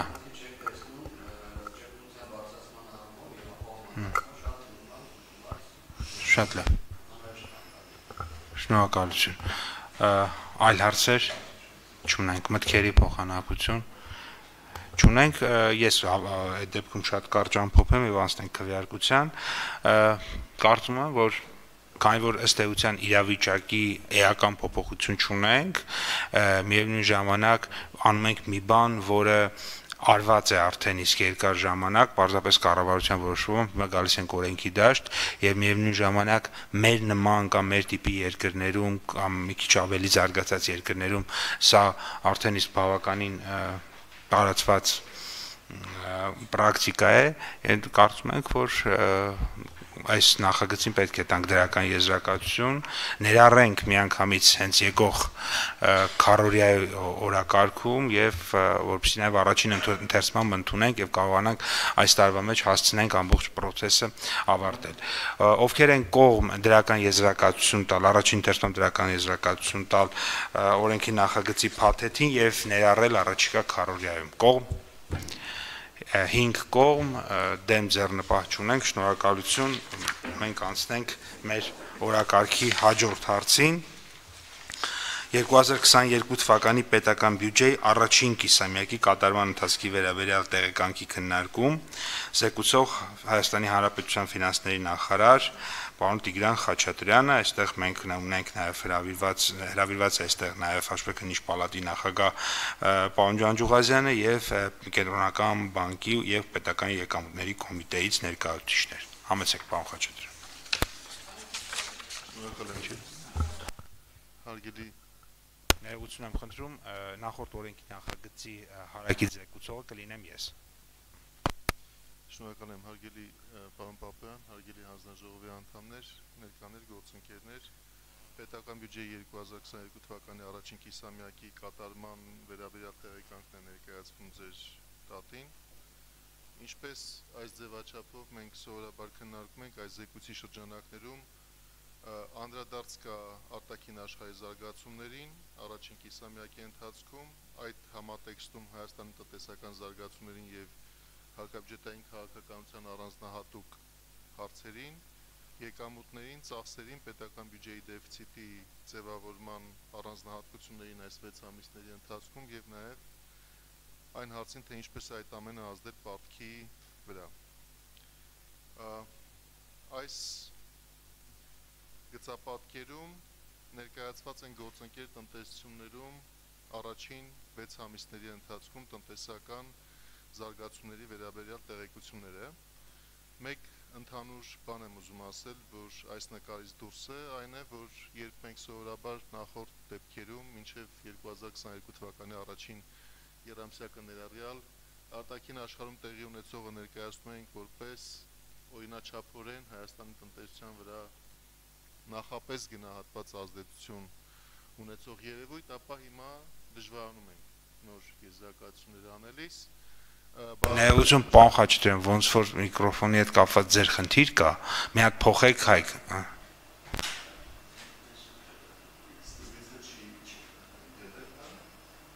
Դեշ։ Չէ, դա հանեք, տարեք այդ այնտեղ։ Սրանով կլսվի։ Ոնց կա։ Այդ դեպքում կարող եմ սկզբից ասել հիմնականը, պարոն Պապյան, որ շնորհակալ Երբ խոսում ենք արտաքին աշխարհի զարգացումների վերաբերյալ եւ մասնավորապես 2022 թվականին առաջին կիսամյակում Հայաստանի տնտեսության հետ փոխկապերի հարցի մասին, ապա իրավիճակ է փոխվել հետեւյալ առումով։ Մենք սովորաբար արտաքին աշխարհի զարգացումները գնահատել էինք մինչև 2022 թվականի առաջին երամսյակը ներառյալ այն տեսանկյունից, թե ինչպես են իրենք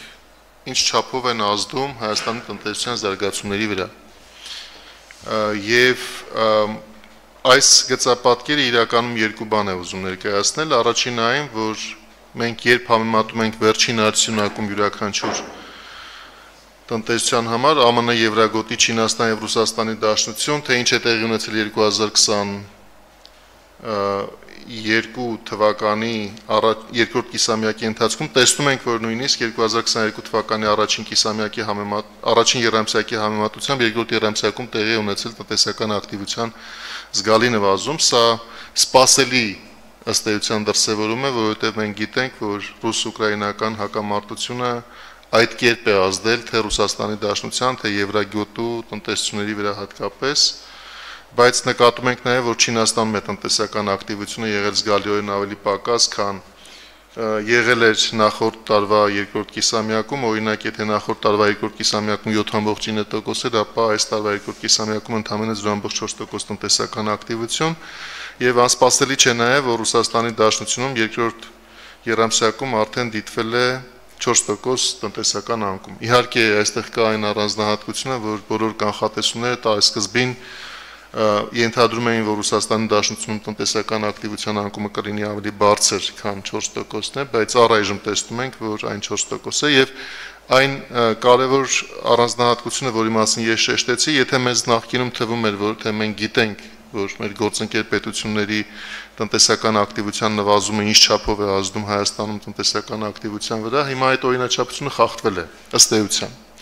եւ եթե անցյալում մենք տեսնենք, որ Ռուսաստանի Դաշնության տնտեսություն 4%-ով անկում էր ապրել, ապա դա պետք է համանման բացասական ազդեցություն գործել Հայաստանի տնտեսության վրա, հիմա այդպես չենք ասում, որովհետեւ դուք էլ գիտեք, տեղի ունեցել այլ երևույթներ զուգահեռաբար, որոնք ինչ որ առումով նաև տնտեսական ակտիվություն են խթանել Հայաստանում, հատկապես Հայաստան տեղափոխված թե բիզնեսների, թե մարդկանց որոշումների արդյունքում, որոնք թե եկամուտներ են բերել Հայաստան եւ թե նաեւ ծախսեր են ավելացրել։ Սա ես ուզում եի առանձնահատուկ ձևով նշել, առանձնացնելով այս իրավիճակի տարբերությունը նախորդ համանման երամսյակների նկատմամբ եւ շարունակելով եւս մեկ բան նշել, որ միևնույն է անորոշությունները շարունակվում են։ Այսինքն ինչ կանխատեսել սրանից հետո հաջորդ երամսյակների ընթացքում ոչ միայն Հայաստանում, այլ միջազգային կազմակերպությունների հետ մեր բազմաթիվ քննարկումներ փաստում եւ հիմնավորում են, որ կանխատեսել թե ինչ կլինի հաջորդ 3-6 ամիսների ընթացքում, ինչպես ինչպես այդ տեղի ունեցողը կանդրադառնա որևէ տնտեսության վրա, այդ թվում Հայաստանի տնտեսության վրա խիստ դժվար է։ Հետևաբար մենք գործում ենք բարձր անորոշությունների պայմաններում եւ հաճախ ստիպված ենք լինում կայացնել իրավիճակից թելադրվող կամ պահանջվող որոշումներ, որն էլ կառավարությունը առ այսօր շատ մեծ հաջողությամբ իմ կարծիքով անում է։ Այսինքն մենք փորձում ենք արձագանքել ընթացքից հարցերին եւ գտնել այն լուծումները, որոնք տվյալ իրավիճակում պահանջվում են տնտեսական ակտիվությունը բավարար բարձր պահելու համար։ Հաջորդ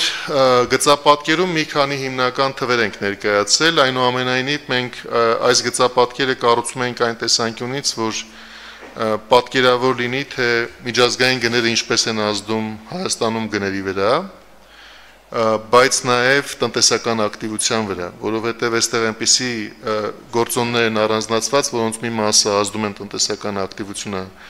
բացատրելու տեսանկյունից, օրինակ մոլիբդենի եւ պղնձի գները, որոնք որ յուրաքանչյուր վերջին ամսաթվի դրությամբ, օրինակ 2022 թվականի հունիսի 30-ի դրությամբ մոլիբդենի դեպքում 65.8%-ով եղել են ավելի բարձր, քան նախորդ տարվա նույն ամսաթվին են եղել, կազմելով 45892 դոլար, եւ պղնձի դեպքում 7.3%-ով ավելի բարձր են եղել, կազմելով 9753 դոլար տոննայի համար նախորդ տարվա հունիսի 30-ի դրությամբ աճելով 7.3%-ով։ Նավթը ամբողջ աշխարհում նույն ամսաթվի դրությամբ բնականաբար ազդել է տնտեսական ակտիվության վրա, մեր դեպքում դա սովորաբար հակառակ ուղղությամբ է լինում մեր տնտեսության վրա, որտեղ երբ որ էներգակիրները այդ պատճառով թանկանում են, բնականաբար դա որպես ներկերող երկիր մենք ունենում ենք դրա բացասական ազդեցությունը։ Պարենային գները նույնպես, եթե համեմատում ենք, իրենք բարձր են 100 ինդեքսը կազմել է 154, այսինքն 54%-ով ավելի բարձր են եղել նախորդ տարվա նույն ամսաթվի դրությամբ եւ բնականաբար սա ազդել է նաեւ այն գնաճի ցուցանիշների վրա, որոնք ավելի ուշ ես կնշեմ։ Ուսնեմ խնդրեմ, բախ հաճտեմ, մի մի բան չհասնավ չհասկացա, պղնձի գինը, բայց ներքև էր, չէ՞, իջել։ Սա աճերն են, Հա, հետո էլ ավելի է իջել։ Այսինքն մենք հուլիս-օգոստոս ամիսներին ունեցել ենք գների շարունակ, այսօր 8000-ի սահմաններում է մոտավորապես, այստեղ նշված է, որ 9750 Սա մենք մինչև հունիսն ենք։ Այո, մինչև հունիսի 30-ը։ Այո որովհետև այստեղ հաշվետվությունը ներկայացված է 2000 Բայց այնտեղ արդեն մեզ մինչև հունիս ինքը իջնում է։ Սրանք աճերն են, էլի։ Աճերը բոլոր ցուցանիշները աճի ցուցանիշներ են։ Եթե հա, դա նշանակում է, որ 2021 թվականի հունիսին հա։ օրինակ աճը եղել է, եթե այստեղ իմ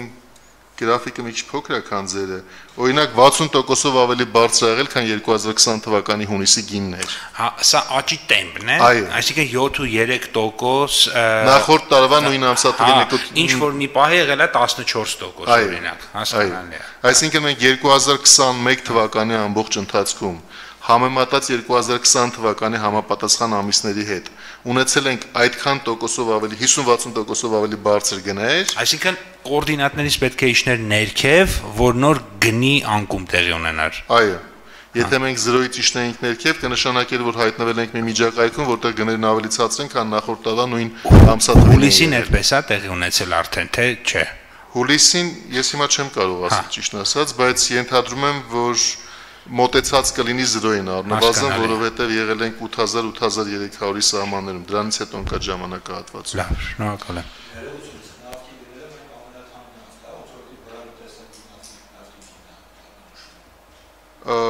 ինձ մոտ նշված չի, բայց սովորաբար բրենդն են օգտագործում, երբ որ նավթի գների գծապատկեր են ներկայացնում, այո։ Ահա Հաջորդը տնտեսական ակտիվության ցուցանիշներն են։ Այստեղ այս կորին պետք է հետևյալ կերպ նայել։ Մենք վերցրել ենք առաջին ամիս, 2 ամիս, 3 ամիս, 4, 5 եւ 6 կൂട്ടակային են տնտեսական ակտիվության ցուցանիշները եւ նկատում ենք, որ եթե հատկապես առաջին ամսից հետո փետրվարին, երբ որ հակամարտությունը սկսեց, ռուս-ուկրաինական արդեն ունեին աճի տեմպի նվազում, եւ այն շարունակվեց մարտին եւ եթե նորից վեր հիշենք թե մենք ինչ էինք մտածում Հայաստանի տնտեսության մասին մարտ ամսվա վերջի դրությամբ, ապա դրանք շատ պահպանողական զուսպ կարծիքներ էին միջև տարեվերջ տեղի ունեցողի քննարկման տեսանկյունից ի հակառակ այդ պահին եղած պատկերացումների կորը ձեզ ցույց է տալիս, որ հետագայում տնտեսական ակտիվությունը թեքվել է դեպի վերև։ Այն նույն պատճառներով, որոնք որ ես նշեցի, որ օրինաչափություններն են խախտվել այլևս։ Այսինքն մենք ունենք նոր գործոններ, այդ գործոնները նոր ազդեցություն են բերում Հայաստանի տնտեսության համար, եւ մենք ունեցել ենք դեպի վերև գնացող տնտեսական ակտիվություն, աճ կողմի գծապատկերը ավելի ընդգծված ձևով է դա ցույց տալիս։ Մենք տեսնում ենք, որ մարտ ամսվա դրությամբ, երբ որ ունենք ամիսը ամսվա նկատմամբ 6-8% ընդհանուր տնտեսական ակտիվություն, ապա հունիսը հունիսի դրությամբ արդեն 18.5 է կազմել։ Այսինքն մենք ունեցել ենք դեպի վերև գնացող տնտեսական ակտիվություն։ Հաջորդ գծապատկերը առաջին կիսամյակում մեր տնտեսական ակտիվության ցուցանիշներին է վերաբերում այս ճյուղերի։ Այստեղ ես միայն ուշադրություն կհրավիրեի ներքևից երկրորդ տողում նշվածին, տեքստի մասով, որովհետև գիտեք, եթե մենք ընդհանուր առմամբ հասկանանք, որ ծառայությունների բնագավառում դիտված կամ նկատված տնտեսական ակտիվությունն է հիմնականում, որ ազդել է մեր ընդհանուր ցուցանիշի վրա, ապա ավելի մեծ ուշադրություն ենք հրավիրում հատկապես դրան, եւ մենք բացել ենք այստեղ մի քիչ, ասել ենք, որ ծառայությունների մեջ իհարկե ֆինանսական եւ ապահովագրական գործունեությունը, տեղեկատվություն եւ կապը, տրանսպորտի եւ կառուցության եւ հանրային սննդի կազմակերպությունների տնտեսական ակտիվությունն է առավել մեծ չափով ազդել ընդհանուր առմամբ ծառայությունների տնտեսական ակտիվության վրա, մասնավորապես 38.7% ֆինանսական եւ ապահովագրական գործունեության բնագավառում ակտիվությունն է հանրագումարով 6 ամիսների ընթացքում արձանագրվել տեղեկատվություն եւ կապ բնագավառում 27.2 եւ ինֆորմացիոն տեխնոլոգիաները այս հատվածում են հաշվառվում, ինչպես գիտեք, չնայած փոքր կշռին ընդամենը կշիռը ամեն դեպքում 5%-ից պակաս է, բայց 29%-ով աճել է կապության եւ հանրային սննդի կազմակերպությունների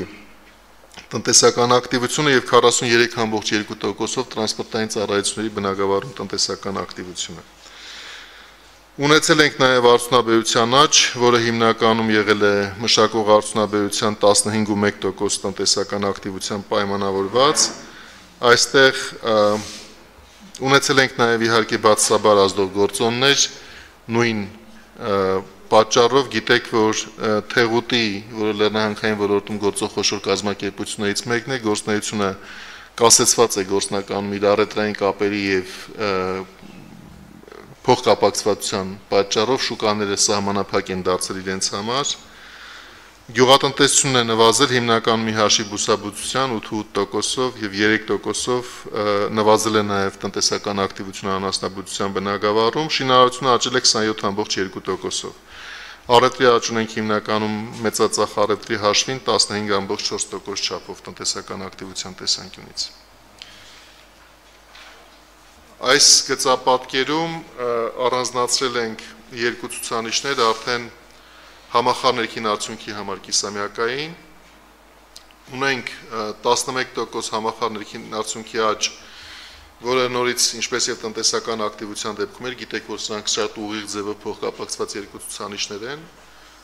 հիմնականում ծառայությունների աճով պայմանավորված, այնուամենայնիվ արդյունաբերությունը համախառն ներքին արդյունքի տեսանկյունից 4.6% աճ է արձանագրել առաջին կիսամյակում, գյուղատնտեսության նվազումը եղել է 1.8%, շինարարության աճը 21.9 եւ ծառայությունների աճը 16.3։ Այստեղ նորից ուզում եմ ուշադրություն հրավիրել նրան, որ եթե մենք առաջին երամսյակում ունեինք ընդամենը 8.7% համախառն ներքին արդյունքի աճ, ապա երկրորդ երամսյակի աճը կազմել է 13 կամ ավելի քան 0.5 կիսով չափ արագացել է այդ աճը եւ կուտակային համախառն ներքին արդյունքի աճը կազմել է 11%։ Այս գծապատկերում համախառն ներքին արդյունքի աճը ներկայացված է ըստ իր ծախսային բաղադրիչների։ Նկատում եք, որ երկու ցուցանիշ մի լավ, այստեղ երևի ոչ թե այդպես առանձնացնեմ, այլ կուտակային այդ 11%-ում սպառման աճը 8.1 է կազմել, հիմնական միջոցներում համախառն կուտակման աճը 17.6%, արտահանումը աճել է 21.5-ով, իսկ ներմուծումը աճել է 22.1-ով։ Սպառման աճը հիմնականում պայմանավորված է եղել մասնավոր հատվածի սպառման ծավալների ավելացմամբ, մասնավոր ներդրումներն են աճել, որը պայմանավորել է հիմնական միջոցներում ներդրումների աճը, արտահանման աճը հիմնականում պայմանավորված է եղել երկու գործոններով, այստեղ կա եւ ծառայությունների աճ եւ ապրանքների աճ, ապրանքների աճը հատկապես դեպի Ռուսաստանի Դաշնություն ապրանքների աճով է պայմանավորված, իսկ ծառայությունների աճը ինչպես արդեն խոսեցի նորից այդ մասին, տեղեկատվական տեխնոլոգիաների բնագավառում զգալի ակտիվություն է ավելացել, հետեւաբար դա պայմանավորված է եւ արտահանմամբ, ինչպես նաեւ ներգնաց զբոսաշրջության հետ կապված ծառայություններ են աճարձանագրել եւ դա մյուս բաղադրիչն է, որը ընդհանուր համախառն ներքինացունքի վրա զգալի աճ է զգալի ազդեցություն է թողել։ Ներմուծումը առավելապես բացատրվում է, որ աճել է տնտեսական ակտիվության եւ ներքին պահանջարկի աճի ազդեցությամբ։ Սպառողական գների մասին 12 ամսյա գնաճի մասն ենք սովորաբար խոսում, 10.3% է կազմել։ Դուք նաև երևի գիտեք, որ այս ցուցանիշը հետագայում նվազել է, երևի կենտրոնական բանկը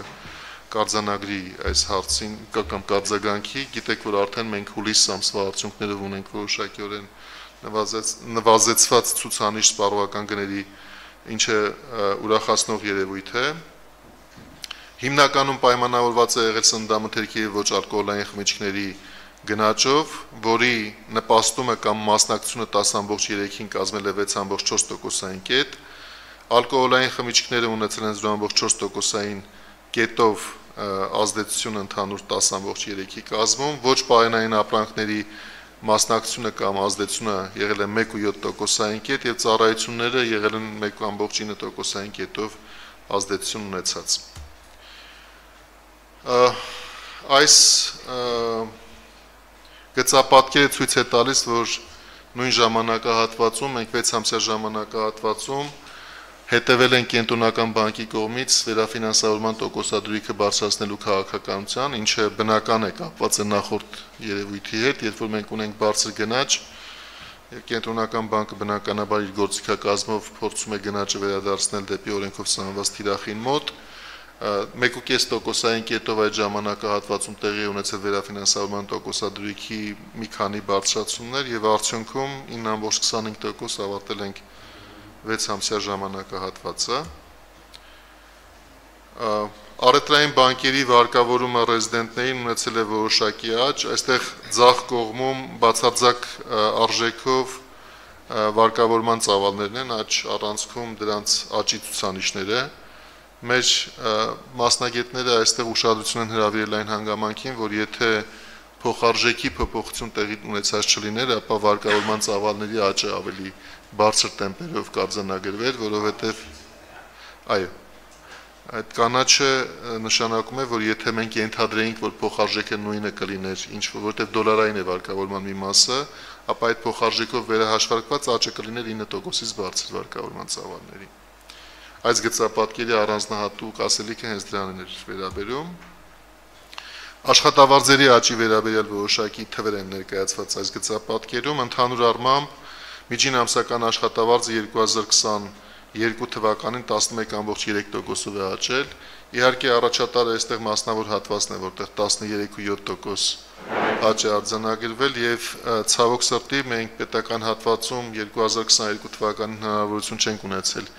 համընդհանուր վերանայումներ կատարել աշխատավարձի, եղել են տեղային ճշգրտումներ, դրանց արդյունքում այդ հատվածում աճը կազմել է ընդամենը 4.5%, այնուամենայնիվ գնաճը ընդհանուր հաշվի առնելով պետք է այստեղ արձանագրենք, որ իրական աճը աշխատավարձերի ընդհանուր առմամբ դրական է եւ գտնվում է դրական միջակայքում, պետական հատվածում բնականաբար չէ, բայց մասնավոր հատվածում այո տեղի ունեցել իրական եկամուտների աճ Միջինը դրական է, եթե 10.3% մենք արձանագրել էինք այնտեղ եւ 11.3% անվանական աշխատավարձերի աճ, ապա այո։ Հաջորդ մեր գծապատկերը վերաբերում է արտաքին առևտրին։ Արձանագրվել է արտահանման 36.3% աճ առաջին կիսամյակում։ Հիմնականում Ռուսաստանի Դաշնություն ապրանքների արտահանման շատ բարձր աճի ցուցանիշներն են ազդել այս ընդհանուր ցուցանիշի վրա։ Ներմուծումն է նաև աճել բարձր տեմպերով առաջին կիսամյակում արձանագրվել է հիմնականում գնահատում է որ տնտեսական բարձր ակտիվությունն է բերել ներմուծման հատկապես բարձր ցուցանիշների, բայց նաև ներմուծման գներն են որոշակիորեն ավելացել 7.1%-ով եւ քանի որ ներքին պահանջարկը ընդհանուր առմամբ բարձրացել է, այդ թվում նաև եկամուտների ավելացմամբ այն մարդկանց, ովքեր այս 6 ամիսների ընթացքում տեղափոխվելով Հայաստան զգալի չափով ազդել են այդ ցուցանիշների վրա, գնահատում է, որ 36.3% ներմուծման աճը 6 ամիսների հանրագումարով կներեք 48.7% այդ կൂട്ടակային փոփոխությունը հենց պայմանավորված է դրանով։ Ուշադրություն դարձրեք, որ ըստ ամիսների են ներմուծման տեմպերը շատ աճում, 55.7% մայիսին եւ 73.1% արդեն հունիսին։ Այս ցուցանիշը ըստ էության ագրեգացնում է ապրանքաշրջանառության ընդհանուր թվերն են, որոնք որ առաջին կիսամյակի արդյունքներով 44%-ով ավելի բարձր են, քան նախորդ տարվա նույն ժամանակահատվածում, արդեն իր բաղկացուցիչների մասին խոսեցինք, եւ քանի որ ներմուծումը արագ աճում է, հասկանալի է, որ պետք է արտաքին առևտրային հաշվեկշիռը որոշակի ժամանակահատվածում բացարձակ մեծությամբ լինի ավելի մեծ բացասական արժեքով այստեղ երկու երևույթ կա մենք խոսեցինք այն մասին որ ներդրումները հիմնական միջոցներում աճում են այսինքն նաև որոշակի սարքավորումների աճի ծավալ է ավելացել, որոնք որ մասնավոր հատվածի վերազինման եւ տնտեսական պոտենցիալը ավելացնելու տեսանկյունից դրական երևույթ են, բայց առավելապես իհարկե այս աճը վերաբերում է սպառման ծավալների աճին։ Հաջորդը մեր հարկային եկամուտների մասին է։ Մենք տարվա ընթացքում տարբեր ձևաչափերով առիթ ենք ունեցել խոսելու, որ հարկային եկամուտները այս տարի իրենց դրսևորում են ավելի լավ, քան մենք սկզբնապես պլանավորել էինք։ Իհարկե կա նաև կարծիք, որ դա հետևանք է նաև նրա, որ սկզբնապես նախատեսվածից ավելի բարձր տնտեսական ակտիվություն եւ գներ են արձանագրվել։ Եթե մենք տարին 2022 թվականի համար կանխատեսում էինք 7% աճ, մոտավորապես 5% դեֆլյատոր, այսինքն անվանական մեծությունը 12-ից 13% սահմաններում, ապա գործնականում 6 ամսվա արդյունքներով մենք ունենք 17-18% առնվազն անվանական աճ, հետեւաբար նաև դա որոշ հարկատեսակների գծով ազդում է ընդհանուր արդյունքի վրա։ Պետք է շեշտեմ, որ որոշ հարկատեսակների գծով, որովհետև գիտեք, օրինակ շահութարկը, որ կառուցված է նախորդ տարվա տնտեսական ակտիվության վրա եւ մենք տարվա ընթացքում շատ հաճախ տեսնում ենք կանխավճարներ, որոնք որ որոշված են 2021 թվականի փաստացի շահույթներից ձևավորվող չափով կերևան եկող տարի դրա ազդեցությունը, այսպես ասենք, ակցիզները նույն կերպ, եթե տնտեսական ակտիվությունը բարձր է, դա դեռ չի նշանակում, որ մեր հիմնական ակցիզային ապրանքատեսակների գծով, օրինակ ծխախոտ, ալկոհոլային խմիչքներ, սպառման այնպիսի փոփոխություններ կարող են տեղի ունենալ, որոնք որ բացարձակ արժեքով որոշվող դրույքաչափերով 1 լիտրի համար կամ 1 տուփ ծխախոտի համար դրամային արտահայտության ֆիքսված դրույքաչափերով կարող են արագ ազդել մեր եկամուտների վրա։ Մաքսատուրքիայի դեպքում գիտեք ունենք խնդիր, Եվրասիական տնտեսական միությունը ընդհանուր առմամբ ներմուծման անկում է արձանագրում, հիմնականում պայմանավորված նրանով, որ Ռուսաստանի Դաշնությունը, որ այդ մաքսային միության ամենամեծ խաղացողն է, իր կախվածությունն է զգալու են նվազեցրել ներմուծումից եւ օբյեկտիվ կամ սուբյեկտիվ պատճառներով այնտեղ արկա է ներմուծման ծավալների անհամեմատ ավելի ցածր արժեք, քան սովորաբար լինում էր եւ մենք դրա արդյունքում 6 ամիսների կտրվածքով մեր նախապես որոշած ցուցանիշներից մոտ 30 միլիարդ դրամով ավելի պակաս մաքսատուրքեր ենք գնահատում, որ կունենանք միջև տարեվերջ։ Այդ անկումը արդեն նկատվել է եւ մենք կարծում ենք, որ տարեվերջի դրությամբ մոտավորապես դրանք 30-35 միլիարդ դրամով կլինեն ավելի պակաս, քան թիվը ճիշտ չեմ հիշում Դե լավ, 30 տարին կվերջանա Երևա։ Ես կարծում եմ 35 ամեն դեպքում։ Այնտեղ փոխարժեքի կարևոր հարցեր կա ժամանակի ընթացքում Երևա թե դա ինչպես է տեղի ունենալու, այնուամենայնիվ շատ կարևոր է, որ մենք մոտավորապես 26%-ով, եթե ես ճիշտ եմ նշում թիվը հիմա, չէ, կներեք 23.7%-ով կամ մոտ 24%-ով ավելի բարձր հարկային եկամուտներ ունենք, քան 2021 թվականի 6-ամսյա ժամանակահատվածում է եղել։ Այստեղ երկու բան պետք է առանձնացնեմ։ Հիշում եք, մենք նախորդ քննարկման ժամանակ նույնպես պարոն Պապյան խոսեցինք այս հարցի մասին, թե ինչպես է հարկաբյուջետային ընդհանուր ընթացքը ազդում տնտեսական ակտիվության վրա։ Եվ խոսեցինք, որ եղել է զսպող ազդեցություն, ընդ որում զսպող երկու պատճառով, մեկը որ ավելի շատ հարկ ենք հավաքում, քան նախորդ տարվա նույն ժամանակահատվածում էինք հավաքում եւ այս գծապատկերում ներկայացված են կապույտ մասը, որ զսպող ազդեցությունը պայմանավորված է եղել ավելի շատ հարկեր հավաքելու փաստով, երկարաժամկետ առումով ես կդիտարկեի որպես դրական երևույթ։ Մենք միշտ էլ պետք է ավելի շատ հարկ հավաքենք, քան նախորդ տարվա ժամանակահատվածի համեմատ ենք հավաքել բայց կա զսպող երկրորդ ազդեցությունը, որը որ ծախսերի ավելի փոքր ծավալն է, քան նախատեսված եղելի սկզբանե, եւ այստեղ սովորաբար մենք կասեինք, որ դա լավ չէ, որ քիչ ենք ծախսում ավելի, քան նախատեսել ենք։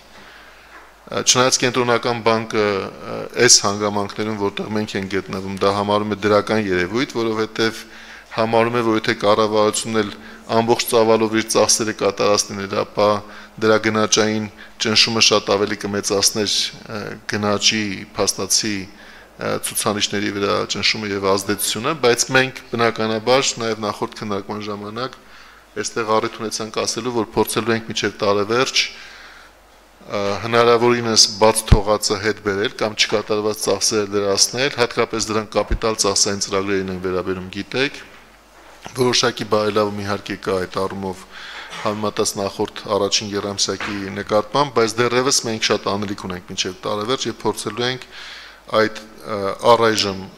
ծրագրային ցուցանիշներից հետ մնացող ծրագրերը բերել իրենց նախատեսված մակարդակի։ Ուզում եի համեմատության համար ասել, որ եթե առաջին երամսյակի արդյունքներով մենք գնահատում ենք, որ հարկաբյուջետային քաղաքականության ընդհանուր զսպող ազդեցությունը համախառնիքին արդյունքի 4.8%-ի չափ էր գնահատվում, ապա այդ ազդեցությունը այլևս կրճատվել է դեպի 4%, այսինքն ավելի քիչ է իր բացասական ազդեցությունը տնտեսական ակտիվության վրա, քան առաջին երամսյակի արդյունքներով էր։ Հաջորդը ընդհանրական թվեր են, այստեղ տեսնում եք, որ մենք տարվա համար եկամուտների ցուցանիշն ենք ավելացրել ճշտված ծրագրով, եթե ի սկզբանե եկամուտների հանրագումարը 1 տրիլիոն 948 միլիարդ դրամ էին, ապա հիմա դրանք կիսամյակի արդյունքներով ոչ թե հիմա գնահատվում են 2 տրիլիոն 6 միլիարդ դրամ համապատասխանաբար ծախսերն են մոտ 50 միլիարդ դրամից ավելի ճշտված պլանով ավելացվել եւ եթե կիսամյակային դիտարկենք, ապա առաջին կիսամյակի արդյունքներով եկամուտները կազմել են 920.6, որոնք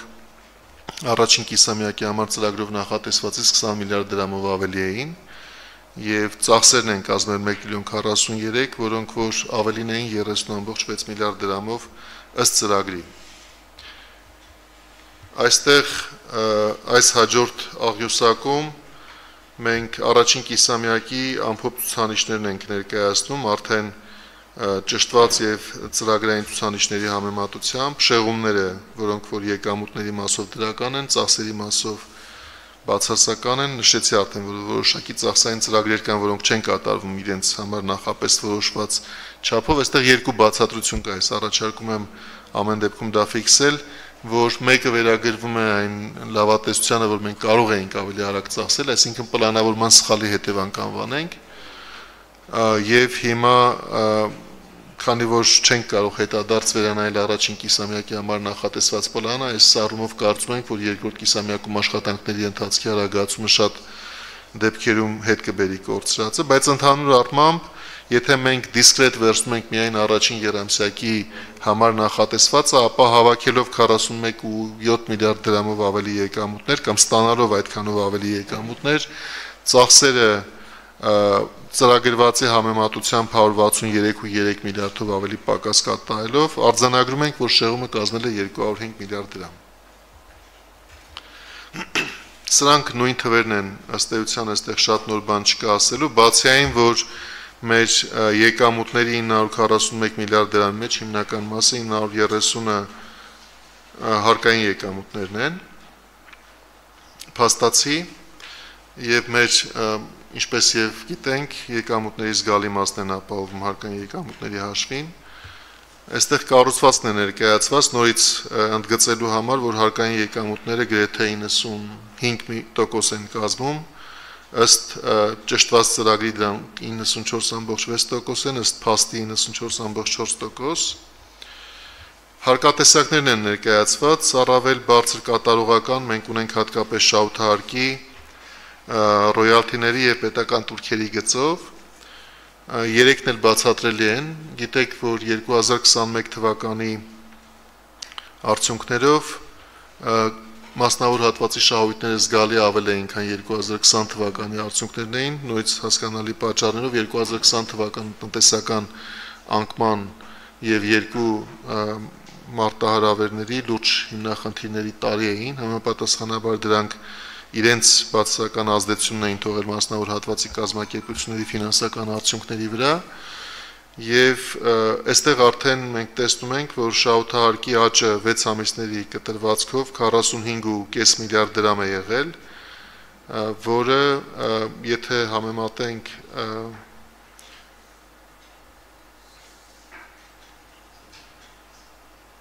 մոտ 50%, 49.4%-ով ավելի շատ է եղել կներեք 53.8 միլիարդ դրամ էր, որը 50%-ով ավելի էր, քան նախորդ տարվա ցուցանիշը, այստեղ այն վերևի աջ կողմում սխալ կա, իրականում 22-ը 21-ի նկատմամբ է, ոչ թե 20-ը։ 21-ը 20-ի նկատմամբ բավական բարձր աճ արձանագրվել ավելացված արժեքի հարկի գծով, Ինչպես նշեցի, պետական турքերն են բարձր եղել, հիմնականում պայմանավորված էին են լեռնանքային ոլորտի կազմակերպությունների արտահանման турքով, որը հիմա արդեն կավարտվի, կա իր կիրառության տեսանկյունից եւ ռոյալթիները շատ էին վճարվում, որովհետեւ դրանք կապ ունենալով նույնիսկ լեռնանկային ոլորտի կազմակերպությունների 2021 թվականի փաստացի դրական ցուցանիշների վրա գների պատճառով ավելի մեծ չափով են վճարվել 2022 թվականի առաջին 6 ամիսներից յուրաքանչյուրի համար։ Ծախսերը ներկայացված են ըստ հիմնական խմբերի Ընթացիկ ծախսերի կատարողականը եղել է 89.7%, ընդամենը ծախսերի կատարողականը եղել է 84.8 եւ մենք ունենք ցածր կատարողական, ինչպես նշեցի, կապիտալ ծախսերի գծով մոտ 60% է կազմել։ Այստեղ նույնիսկ չկրկնեմ, բայց մենք կարծում ենք, որ մեր որոշակի սխալ պլանավորման արտացոլումը կա, այնուամենայնիվ մենք հիմա արդեն 3-րդ եւ 4-րդ երամսակների արդյունքներով կհասկանանք, թե իրական մեր դժվարությունները որտեղ են եղել այս գծապատկերի վրա առաջարկում եմ կանգ չառնել, այստեղ պատմական թվեր են ուղակի, թե մենք որտեղից ուր ենք հասել։ Եվ ըստ գլխավոր կարգադիշների ներկայացված ծախսերի կառուցվածքն է, գիտեք, հիմնական մասերը մեզ մոտ 31.6% սոցիալական ծախսերի հատվածն է, մեծամասամբ կենսաթոշակներ եւ նպաստներ, պաշտպանությունն է ավելի մեծ հաջորդ խումբը իր 17.2% կշռով եւ կրթության բնագավառում մոտ 10%, առողջապահության բնագավառում 6.3%, տարածքային կառավարման եւ ենթակառուցվածքների նախարարությունը ենթակառուցվածքների վրա ծախսում է մոտ 8%, ֆինանսների նախարարության դեպքում գիտեք հիմնականում այստեղ պարտքի սպասարկման տոկոսավճարներն են, որոնք մեր բյուջեով են հաշվառվում, դրա համար էլ մոտ 10-11%, ինչպես եւ տարվա կտրվածքով կլինի, մեր ընդհանուր ծախսերի մեջ կազմում են այդ տոկոսային ծախսերը։ Այստեղ էլ բարդ գծապատկերը ես առաջարկում եմ սա բաց թողնել, ուզում եմ ցույց տալ, որ մենք դեֆիցիտի փոխարեն ունեցել ենք 2022 թվականի առաջին կիսամյակում իրականում հավելուրդ, որովհետև չենք ծախսել բավականաչափ, բայց քանի որ իր բաղադրիչները ոչինչ չեն ասում, ես ուղղակի բաց կթողնեմ այս մասը այստեղ դեֆիցիտի ֆինանսավորման աղբյուրների կառուցվածքի մասին է ներկայացված որոշակի տեղեկանք մենք շարունակել ենք պարտատոմսերը թողարկել գրեթե նույն կերպ, որքան ինչպես եւ նախատեսված էր բյուջեը, մտածելով, որ տարվա ընթացքում դրանց օգտագործման անհրաժեշտությունը կլինի։ Շարունակել ենք սпасարկել նույն սցենարով, ինչպես նախատեսված է եղել, բնականաբար արտաքին վարկերի սпасարկման առնչությամբ որևէ որ խնդիր չի առաջացել, դրանք սպասարկվել են ամբողջ ծավալով եւ ժամանակին եւ երբ որ դրանք նախատեսված էին ներգրավելու եւ իրենց հաշվին նպատակային վարկային ծրագրեր իրականացնելու իմաստով, ապա դա տեղի ունեցել։ Այսինքն այն դեպքում, երբ որ մենք տեսնում ենք արտաքին աղբյուրներից վարկերի ներգրավում դրանք հիմնականում նպատակային վարկերն են, վարկեր որտեղ մենք տեսնում ենք գանձապետական պարտատոմսերից մուտքեր, դրանք մեր տարվա համար նախատեսված սցենարով տեղաբաշխումներից ձևավորված ֆինանսավորման աղբյուրն են եւ սա այդ բոլորի թվային մանրամասն տեղեկանքն է։ Պարտքը 2022 թվականի հունիսի 30-ի դրությամբ կազմում է պետական պարտքը 4 տրիլիոն 55 միլիարդ դրամ, որը 9 միլիարդ 932 միլիոն դրամ է, դոլար է ամերիկյան, սրանից կառավարության պարտքը 3 տրիլիոն 834 միլիարդ դրամ կամ 9 միլիարդ 390 միլիոն դոլար, եւ արտաքին պարտքը այդ 9 միլիարդ 390 միլիոն դոլարից կազմում է մոտ 5 միլիարդ 954, իսկ ներքին պարտքը 1 3 միլիարդ 436։ Այստեղ հաջորդ գծապատկերում կարևոր նոր տեղեկություն կա, որը պետք է parzabanել ներքևի աճանկյունում վերաբերում է ներքին պարտքի տեսակարգաշին, երբ որ մենք ներկայացնում ենք 2022 թվականի պետական բյուջեն, եթե հիշում եք, ասում էինք, որ մենք 22 թվականի պետական բյուջեն քննարկելու ժամանակ խոսում ենք այն մասին, որ մոտ 30-70 պետք է լինի հարաբերակցությունը, բայց քանի որ այն ժամանակ մեր այդ արտաքին պարտքը լինելով 70% փոխարժեքի փոփոխության հետևանքով հիմա դրամային ունի արտահայտություն մոտավորապես 20%-ով ավելի պակաս, քան մեր սկզբնական քննարկումների ժամանակ հաշվարկային ցուցանիշներ, ապա այս տարեվերջի դրությամբ նախ այսօրվա դրությամբ պետք է ասել, որ պարտքի փաստացի կառուցվածքը 65-35 է մոտավորապես, այսինքն մենք արդեն 35-36% պարտքի կառուցվածքում ունենք դրամով արտահայտված կամ դրամային ներքին պարտք եւ մեր ընդհանուր պարտքի կազմում միայն 65%-ն է, որ վերագրելի է արտաքին պարտքին կամ արտարժույթով արտահայտված պարտքին Բնականաբար այս ժամանակահատվածում տեղի են ունեցել տոկոսադրույքների որոշակի ավելացումներ։ Պետք է նշեմ, որ երբ որ կենտրոնական բանկը վերաֆինանսավորման տոկոսադրույքը փոխում է, առաջին արձագանքող ցուցանիշը դրան իհարկե պետական պարտատոմսերի տոկոսադրույքն է թե մասնավոր հատվածի վարկավորման տոկոսադրույքները ինչպես են արձագանքում դրան դա առանձին քննարկելու թեմա է։ Մենք տեսնում ենք, որ տենց ուղիղ մեծ կապ չկա առանձնապես, բայց պետական պարտատոմսերի եկամտաբերությունը միանգամից բարձրացնում է եւ կառավարության ծախսերն ավելանում են։ Այդ պատճառով մենք եթե 2021 թվականի դեկտեմբերի 31-ի դրությամբ ունենք 4.7% փաստացի պարտքի սպասարկման կշռված եկամտաբերություն, ապա այսօր ունենք 5.5%, մենք վերջին տեղաբաշխումներով միջև 12% եկամտաբերությամբ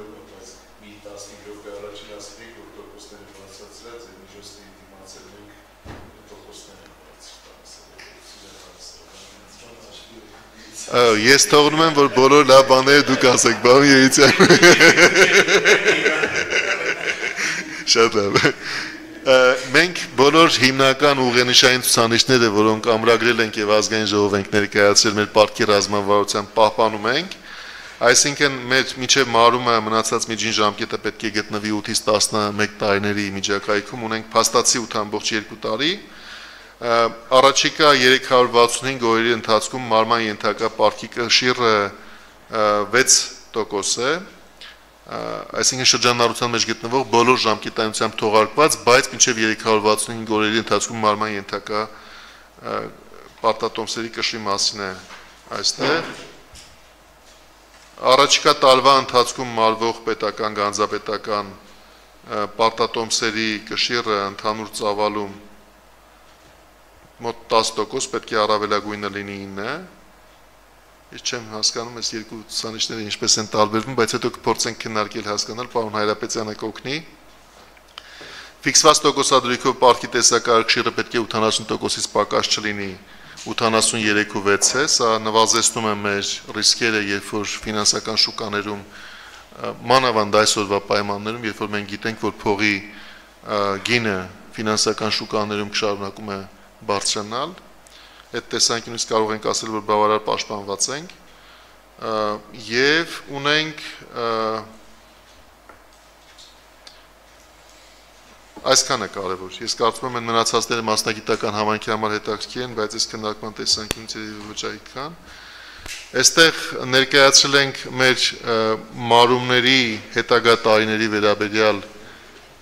ավանդական գծապատկերը, սա մեր բոլոր 25-ն է ամենածանր հաշվետվություն։ Առաջիկա ամենաբարձրը կլինի 25 թվականը, այո, հաջորդ երկու բարձրը կլինեն 20-ը եւ 31 թվականները եւ բոլոր այդ պիկերը մեզ մոտ պայմանավորված են Եվրոպատատոմսերի մարման տարիների հետ։ Այսինքն մենք երբ ունեցել ենք թողարկում, դրանից 10 տարի հետո ունեցել ենք 2015-ին, 25-ին դրա մարման հերթական տարին է, 19-ին եւ համապատասխանաբար 21-ին այստեղ արտացոլված է այդ նույն կերպ եւ ներքևից դա երևում է երբ որ մենք այն գազարագույն մասերը տեսնում ենք դրանք հենց այդ պարտատոմսերի մարմանը բաժին ընկնող կտորներն են եւ ունենք այստեղ արտաքին վարկեր երկնագույն նշված ցախից երևացող եւ այն մանուշակագույնը մեր դրամային պարտատոմսերի հետ կապված ըստ ներկա թողարկումների այդ տարիներին բաժին ընկնող մարումներն են Բնականաբար, երբ որ մենք մոտենանք այդ տարիներին, ամբողջը կփոխվի, այսինքն մենք ունեցած կլինենք հետագա թողարկումներ, որոնց մարումները կընկնեն համապատասխան տարիների վրա եւ կունենանք նոր պատկեր այսօրվա պարտքի կառուցվածքով ըստ իրենց սպասարկման ժամանակացույցի մարման հետ կապված նախատեսվող առաջիկա գումարային մեծությունները նշվածներն են։ Այս գծապատկերում մենք ունենք, որ արտաքին վարկերը կազմում են 0.5 մեր ընդհանուր պարտքի 50 46%-ը 2022 թվականի հունիսի 30-ի դրությամբ, պարտա դրամային պարտատոմսերը 35.2% եւ մեր եվրո բոնդերը պատքի ընդհանուր կառուցվածքում 18.6%։ Ինչպես նշեցի, արժույթով 35%-ից ավելին արդեն դրամով է 64.7-ը արտարժույթով, տոկոսադրույքների մասին խոսեցինք 83.6%-ը ֆիքսված տոկոսադրույք է 16.4%-ը լողացող տոկոսադրույքներով իրականում այսօրվա քննարկված հարցներ, եթե ես ճիշտ հասկացա, չնայած պայմանագիրը ֆիքսում է, որ մենք այդ հանրային կառավարման արդիականացման վարկը լողացող տոկոսադրույքով ենք բանակցում եւ տանում հաստատման, բայց եթե ճիշտ գիտեմ, մենք ունենք այնտեղ որոշակի ամիսներ, երբ որ այդ ընթացքում ճիշտ եմ հիշում, պարոն Հարապետյան, կարող ենք հայտարարել, որ ֆիքսում ենք որոշակի պայմաններով եւ դա կարա գումարվի հետագայում այս մեր 83.6-ին։ Այսինքն նպատակահարմար կհամարենք, դա մեր իրավունքն է լինելու, որ մենք այդ ժամանակահատվածում այդ լողացող տոկոսադրույքով բանակցված պայմանագիրը դարձնենք ֆիքսված տոկոսադրույքով։ Եվ այսքան է այստեղ ըստ կարևորության Այստեղ շատ բան չկա, ներկայացնում եմ, որ մեր արտարժութային պարտքի ըստ արժույթի տեսակների, այո, դա է ներկայացված եւ այստեղ հաջորդ գծապատկերում եւ էջում 30-ը 06 2022 թվականի դրությամբ որոշակի ցուցանիշներ են բերված, հատկապես մեր պարտատոմսերին վերաբերող հատվածը հետաքրքիր կլինի, Կարճաժամկետ պարտատոմսերի եկամտաբերությունը այդ օրվա դրությամբ 9.45% է կազմել, միջնաժամկետների համար 9.3, երկարաժամկետների համար 11.12 եւ խնայողական պարտատոմսերի համար 9.16։ Այս ցուցանիշները մենք համադրելու համար հիմա չենք ներկայացել, թե նախորդ տարվա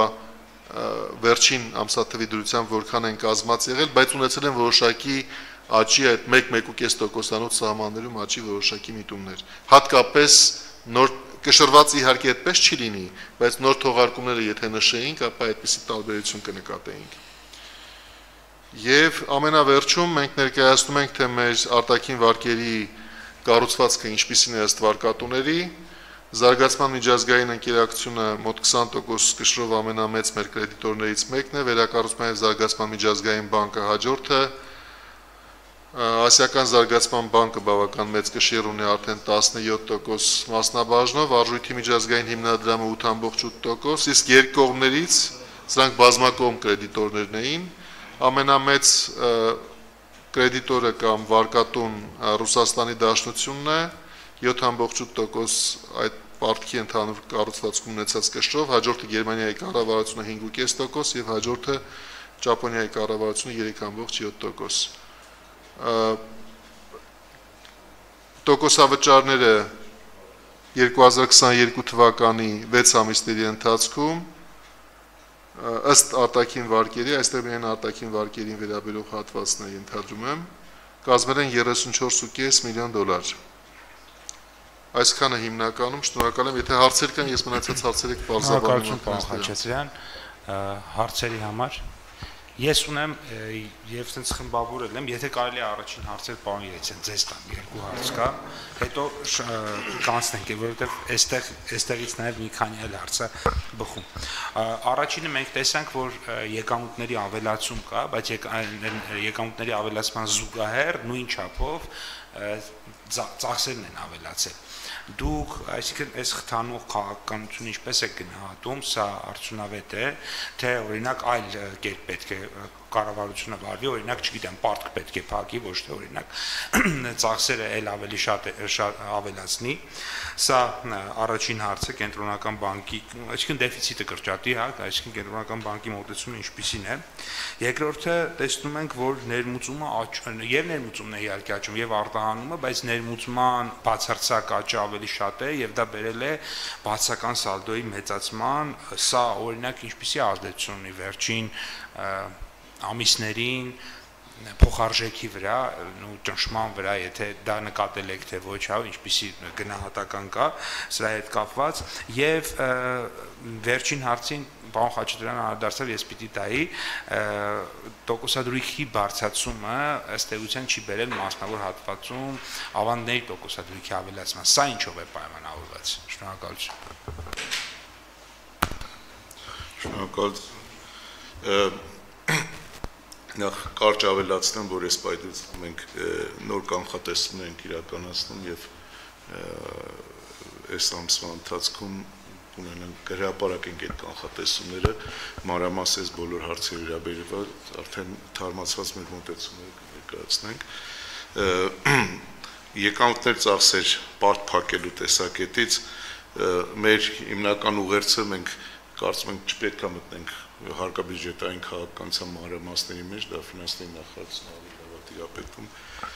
բայց ընդհանուր մակրոքաղաքականության տեսակետից կարծում ենք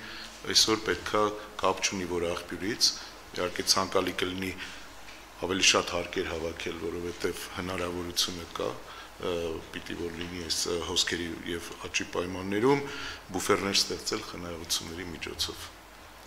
որտեղ ոնց է լինի նախորդ անգամ պարոն Խաչատյանն էր ներկայացնում, որ կարա ինքը եւ պերմանենտ լինի այս զարգացումները եւ կարա ժամանակավոր լինի։ Առնվազը գոնե այսպես ասած 50-50 հավանականությամբ պետքա շարժվել, որը ենթադրում է, որ պետքա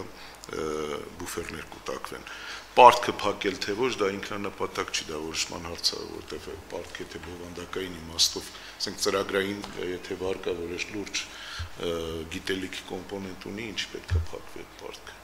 կամ եվրոբոնդերի շուկայում մեր պարտքը դրանք որոշակի ուղենիշ են նաև մասնավոր հատվածի համար, ինչ պետք է դա փակվի, հնարավոր է նաև ծախսերի միջոցով նույն արդյունքը ստանան, որտեղ Պարտքի ինստիտուտը, ծախսերի ինստիտուտը, հատկապես կապիտալ ծախսերի ինստիտուտը, դրանք նույն մի օրում չեն ստեղծվում։ Տարիներով ֆինանսների նախարարությունը ներդրումներ է արել, ոնց որ գործարան կառուցեք։ Եվ երբ որ այդ գործարանը մի 6 ամսով փակեք, որովհետև կողքից ինչ որ բան է կպել, փող ենք աշխատում, հետո այդ 6 ամիս հետո կամ մի տարի հետո այդ գործարանը հնարավոր չի բացել Ես նման լուրջ դեբատի եմ եղել Ֆեդ ռեզերվը 2001-3 թվականներին արժութային հիմնադրամում քննարկվում էր, որ 5 տարում Միացյալ Նահանգները իր կյանքի մեջ առաջի անգամ ինքը երկու դեֆիցիտներով է միշտ ապրել, եւ ֆիսկալ եւ վճարաշվարկային, երկուսն էլ հավելորդային էր դառնելու եւ պարտքի մարման խնդիրներ քննարկվում։ Բավականին լուրջ գլոբալ դեբատ էր, որ չի կարելի դա պարտքը մարել որտեղ ինքը համաշխարհային ուղենիշա գործիքա, որի տակ բավականին լուրջ ինստիտուտներ են կառուցված։ Սրանից ավել չեմ ուզում խորանալ, բայց ձեր հարցի պատասխանը կարծում եմ բուֆերները կարևոր են։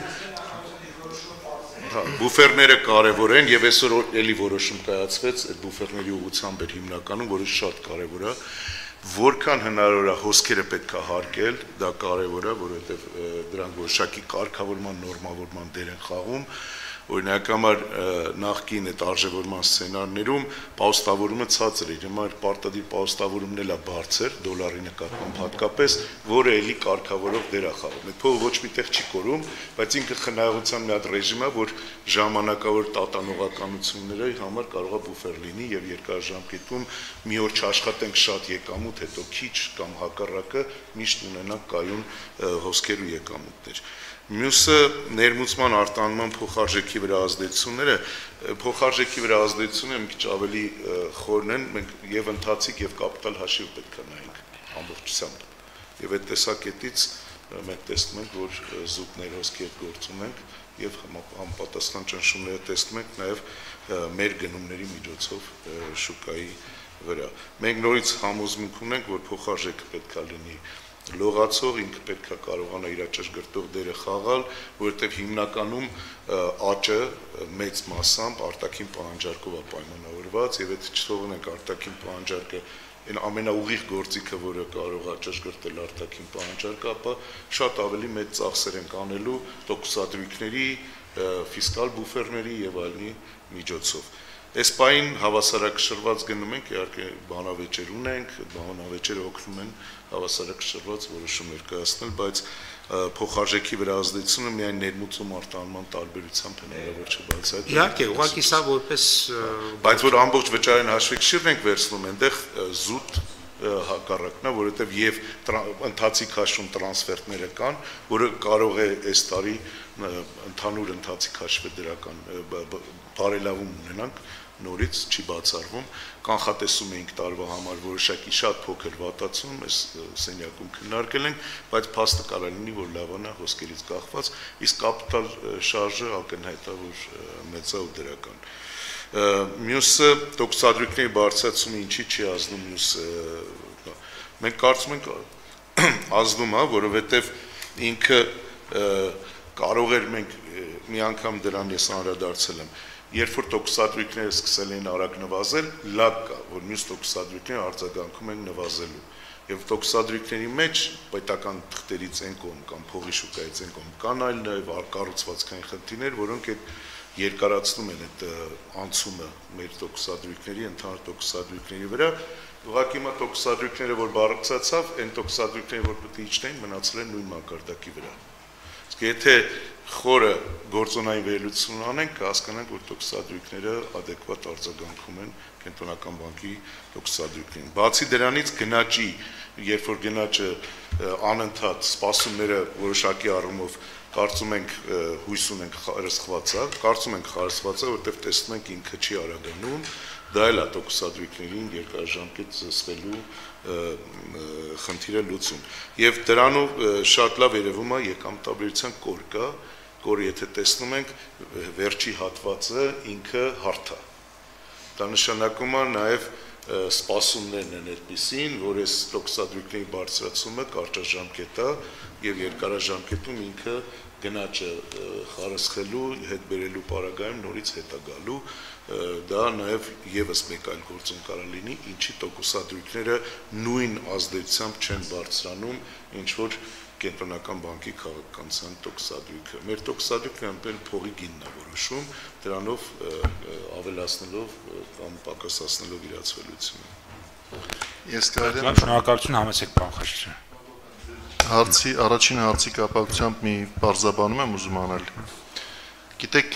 հարցեցիք, եթե մենք օրինակ հավաքել ենք 40 միլիարդ դրամով ավելի հարկային եկամուտներ, ապա ինչի ենք որոշել այդ 40 միլիարդ դրամի դիմաց նաև նախատեսել համապատասխան ծախսերի ավելացում, հասկանալով, որ ընդլայնողական, այսպես ասած, նույնիսկ ծախսային քաղաքականությունը կենտրոնական բանկի խնդիրը կդժվարացնի։ Այստեղ մի նրբություն կա, որի մասին ես պարտավոր եմ ասել, երբ որ մենք տեսնում ենք մեր կապիտալ ծախսերի ցածր կատարողականը, մենք փաստացի որոշել ենք ծախսերի ծավալն ավելացնել պլանային ցուցանիշը, բայց դա չի նշանակում, որ ծախսերն ավելացրել ենք, որովհետև առաջին կիսամյակի արդյունքներով մենք ունենք մեր նախատեսած ծախսերից զգալի դեռևս չկատարված ծավալ։ Մենք մտածում ենք, որ ինչպես ասեցի, դեռ երկու երամսյակ կանցնի մինչև կգնահատենք, թե որ ուղղությամբ ծախսերը չկատարելու պատճառները որտեղ էին։ Բայց եթե մենք հիմա տեսնում ենք, որ եթե մենք ոչինչ չփոխենք մեր ծախսային նպատակադրումների կամ ուղղությունների մեջ, կարող են նախատեսված ուղղություններով զգալի հետ մնանք, նոր ուղղություններ ենք բացում, որ այդ ուղղություններով որոշակի տնտեսական ակտիվություն կառաջանա, տարեվերջին ի վերջո մենք մտածում ենք, որ հանրագումարով մեր ծախսերն ավելին չեն լինի, քան այնքան ինչքան նախատեսել էինք տարեսկզբին։ Հիմա եթե մենք այլ պայմաններում լինեինք, Այսինքն մենք տեսնենք, որ բոլոր ծախսերը եւ 6 ամսվա արդյունքներով իրենց ամբողջ ծավալով կատարվում են, հնարավոր է, որ ձեր հարցը այդ տեսանկյունից քննարկելով կորոշեինք մի մաս այդ լրացուցիչ հարկային եկամուտների ոչ թե դարձնել ծախս, այլ խնայողություններ, ոնց որ պարոն Երիցյանն ասում։ Բայց հնարավոր է ոչ այդքան լավ պատճառով, այսինքն մեր ծախսերը որոշ դեպքերում ժամանակին չհասնելու պատճառով այդ խնայողություններն ինքն իրեն ստեղծվեն։ Այսինքն, եթե մենք տարեվերջին իրականում չենք ծախսելու, դա դեֆիցիտի կրճատում է նշանակելու, եւ մենք չնայած նախատեսել էինք 3% դեֆիցիտ համախառնեկին արդյունքի նկատմամբ, եթե համախառնեկին արդյունքը լիներ անվանապես նույնը, ինչպես մենք նախատեսել ենք, ապա կարող ունենանք 2-3-2-2 իրականում Եվ այս պատճառով է, որ մենք շուտ ենք համարում դեռ այդպիսի քննարկումը, բայց մենք կարծում ենք, որ տարվա վերջում ավել ծախսելով գնաճային որևէ ճնշում ստեղծած չենք լինի։ Իհարկե կցանկանայինք ծախսերը բոլորը կատարել նախատեսված ծավալներով, բայց մենք հենց այդ սցենարով էլ մոտավորապես շարժում ենք առաջ։ Չենք նախատեսում ավելին, քան կամ չենք գնահատում, որ փաստացի կլինի ավելին, քան իրենք ի սկզբանե նախատեսված էին։ Շնորհակալություն։ Ես այդ հարց տալու եի ձեզ բան խաչտան, որոշել եմ փոքր հետո, բայց հիմա ամփոփելով եւ շարունակենք։ Այսինքն եթե նման իրավիճակ չլիներ, դուք կենտրոնական բանկերը ճիշտ եմ հասկանում, որ կարծում եմ, որ ավել հավաքագրված գումարները պետք է խնայողություններ գնային, ընդ որում հնարավորություններ փաստացի էլի կա։ Մենք ուղղակի քիչ ենք հարկում կամ չենք կարողանում հարկել։ Դրանք հա այստեղ է հարցը։ Հիմա պարոն Խաչատրյան, ես նայում եմ մեր կատարողականը ինքը ցածր է եւ դուք ընթացքում ծրագրեր ավելացնելով փորձում եք գոնե բացարձակ թիվը բերեք անենք այսինքն եթե անգամ տոկոսը էլի ցածր կլինի, հա, իսկ սկզբնականի համեմատ կամ վերջնականի համեմատ, բայց գոնե բացարձակ եթե այդքան 100 միլիարդ պլանավորել ենք, այդքան անենք։ Հիմա այստեղ կա մոտեցում, ես իհարկե անկեղծ կլինեմ այդքան էլ վստահ չեմ, որ դա լավագույն մոտեցումն է, բայց կա լսել եմ, որ կա նաև կարծիք, որ այդ դեպքում եթե օրինակ կառավարությունը գիտի, որ եթե ինքը օրինակ 100 միլիարդի հայտարարումը 80-ն է անում, թող հայտարարի 120-ի, որ 100-ը անի, այսինքն եթե իր թիրախը 100-ն է սա ինչ ռիսկեր ունի, ես մի փոքր թերահավատ եմ մոտենում այդ մոտեցմանը, բայց արդյոք դա հնարավոր է թե ոչ ձեր կարծիքը։ Այստեղ երկու տարբեր մոտեցում կա, պարոն Պապյան, քննարկված։ Մի մոտեցումը նա է, որ եթե մենք մի դրամ ունենք, եկեք 1.5 դրամի պայմանագրեր ստորագրենք, շատ կոպիտ եմ ասում, իրավունք չունենք այդպիսի բան անենք։ Դա մեր ջտային համակարգի հիմնարար սկզբունքները կխախտի, մենք իրավունք ունենք ծախսեր պլանավորել կամ միջոցառումներ ծախսային հաստատել այն չափով եւ ստանձնել պարտավորություններ այն չափով, որ չափով վստահենք, որ մեր եկամուտները կապահովեն որովհետեւ մենք իրավունք չունենք կանխակալ այնպեսի կարծիք ունենանք, որ մեր մասնավոր հատ մենք ինչի չենք կարողանում ծախսերը կատարել։ Եկեք մի հատ դրա մասին խոսենք, հա։ Մենք կառավարությունը հայտարարում է ծրագիր միջոցառում, մրցույթ, գնորդ հաղթող է ճանաչում, պատվեր է տալիս, Հետո աշխատանքի ծավալը այնպեսին է, որ մեր կատարող կապալառու կազմակերպությունները միանգամից մի քանի պայմանագրերի դիմաց ստորագրելով չեն հասցնում իրենց խոստումները ժամանակին կատարեն։ Այսինքն այստեղ մեկը կարա մեզ ասի, բայց դուք կարող եք, չէ՞ գնահատել, որ եթե 4 պայմանագիր է ստորագրում մեկից միանգամից, ապա հավանական է մեկում կթերանա։ Բայց մեր կարգավորումներն այնպեսին են, որ եթե եկել է հաղթողը տվել է լավագույն առաջարկը մենք չենք կարող իրեն ասել, գիտես, չնես քո առաջարկը լավագույնն է, բայց մենք կարծում ենք դու չես հասցնես աշխատանքը այս ծավալով անես։ Առնվազն այսօրվա կարգավորումներն այդպեսին են։ Եվ մենք դրա համար մեր կարգավորումներին համապատասխան գնում ենք առաջ, վերջում փորձում ենք ամեն ինչ անել, որ նա հասցնի այդ աշխատանքը կատարել, ինչի թե մեզնից կապված խնդիր կա, կախված։ Փորձում ենք կարգավորել։ Վերջում ենթադրում ենք, որ որևէ բան մնում է չկատարված։ Հիմա բայց մեզ թույլ տանք ենթադրել, որ հաղթողը չի կարողանալու իր խոստումները կատարել, մի դրամի փոխարեն 1.5 դրամ ծախս նախատեսել այդ տեսակետին մենք պարտավոր ենք դեմ լինել եւ միշտ ենք դեմ լինելու, որովհետեւ իրավունք չունենք որևէ պետք է մեր մասնավոր հատվածը միշտ վստահ լինի, որ կառավարությունը այնքան խոստումներ է տալիս ծախսային, որքան երաշխավորված ձևով կկատարի։ Ես կարծում ձեր հարցի ճիշտ իրականում բովանդակության պատասխանը դա է։ Դրա համար մենք մեր այն գործընկերներին կան մեր գործընկերների թվում, որ ասում են եկեք դե, դա էլ հաշվի առնենք, ասում ենք չենք կարող այնուամենայնիվ, բայց մի բան ուզում եմ ասել, պարոն Պապյան։ Երբ որ մենք դեֆիցիտի հաշվին ծրագրերի իրականացման սցենար ենք քննարկում, այսինքն եթե մենք մտածում ենք, որ եկեք նախատեսենք 3.2%, այդպես է եղել սկսված 2022 թվականի բյուջեի քննարկումը, էլի, մենք հասկանում էինք, որ չնայած այդ 3.2% դեֆիցիտ ֆինանսավորելով մենք պարտքը շատ չենք թեքում դեպի ցած, չնայած մեր ֆիսկալ կոնսոլիդացիայի նպատակը պահանջում է, որ մենք ավելի արագ նվազեցնենք պարտքը։ բայց մտածում ենք, որ հենց այդ չափ դեֆիցիտ ֆինանսավորելով, քանի որ մեր մասնավոր հատվածի կարողությունները ձևավորված չեն այնքան, որ եւ այդ հարցը մեզ տվել են ազգային ժողովում, ասեն 60%-ով միանգամից կապիտալ ծախս եք ավելացնում, վստահ եք, որ կկատարվի։ Ասենք մենք վստահ ենք, որ մենք մեր պարտավորությունները կկատարենք եւ վստահ ենք, որ ինչ անհրաժեշտ է կառավարությունից կախված է, ապա կառավարությունը կանի, որ այդ ծախսերը կատարվեն եւ մեկ անգամ հիմա իրենք տեսնելով որ մենք մեր խոստումները կատարում ենք վստահ եմ հաջորդ տարի ավելի պատրաստ կնան իրենց ստանձնած պարտավորությունները կատարելու եւ ժամանակի ընթացքում կունենանք բարելավումներ մի չառնչվող բան եմ ուզում ասել Վրաստանի մեր գործընկերների հետ էինք հանդիպում, բնականաբար սա շատ զգայուն թեմա է մեզ համար, խոսում ենք, ասում ենք հիմա իրենք էլ են այդպիսի մեծ ծրագրեր իրականացնում, ինչպիսի պատկեր է իրենց մոտ։ Ասում էին նույնը, Երբ որ մենք միանգամից ծախսերը կտրուկ ավելացնում ենք որևէ բնակավարում, հատկապես ենթակառուցվածքներ կառուցելու, առաջին 1-2 տարվա ընթացքում մասնավոր հատված դանդաղ արձագանքում, հետ ամնում, չի հասցնում բայց ասում եմ 1-2 տարի այտենց պլանավորում ենք, իրենք հետ էին ընկնում, երրորդ տարվա մեջ արագությունը գալիս տեղեր հասնում, այսինքն իրենք իրենց կարողություններն են ավելացնում, սկսում են ավելի համապատասխան ձևով պատրաստվել եւ դա ժամանակի հարց է։ Այս տարի եթե անգամ ենք որոշակի հարցերում իհարկե հասկանալով բոլոր մանրամասները կտեսնենք որ չենք հասցնում անել ինչ որ նախատեսել ենք դա չպետք է նշանակի որ եկող տարի պիտի մտածենք որ նույնը կմնա հաստատ այդ կատարողականը կլավանա հենց մասնավոր հատվածի ավելի ճիշտ արձագանքի արդյունքում ես ձեր հետ ամբողջովին համաձայն եմ եւ վստահ եմ նաեւ որ իրենք էլ են իրենց կարողությունները ավելացնում ուղղակի խնդիրը այստեղ է ուրիշ տեղ է մենք մեր միջնաժամկետ ծախսերին ծրագրերով կարծեմ 25-26 թվականին 800 միլիարդ կամ ավելի շատ ենթակառուցվածքների վրա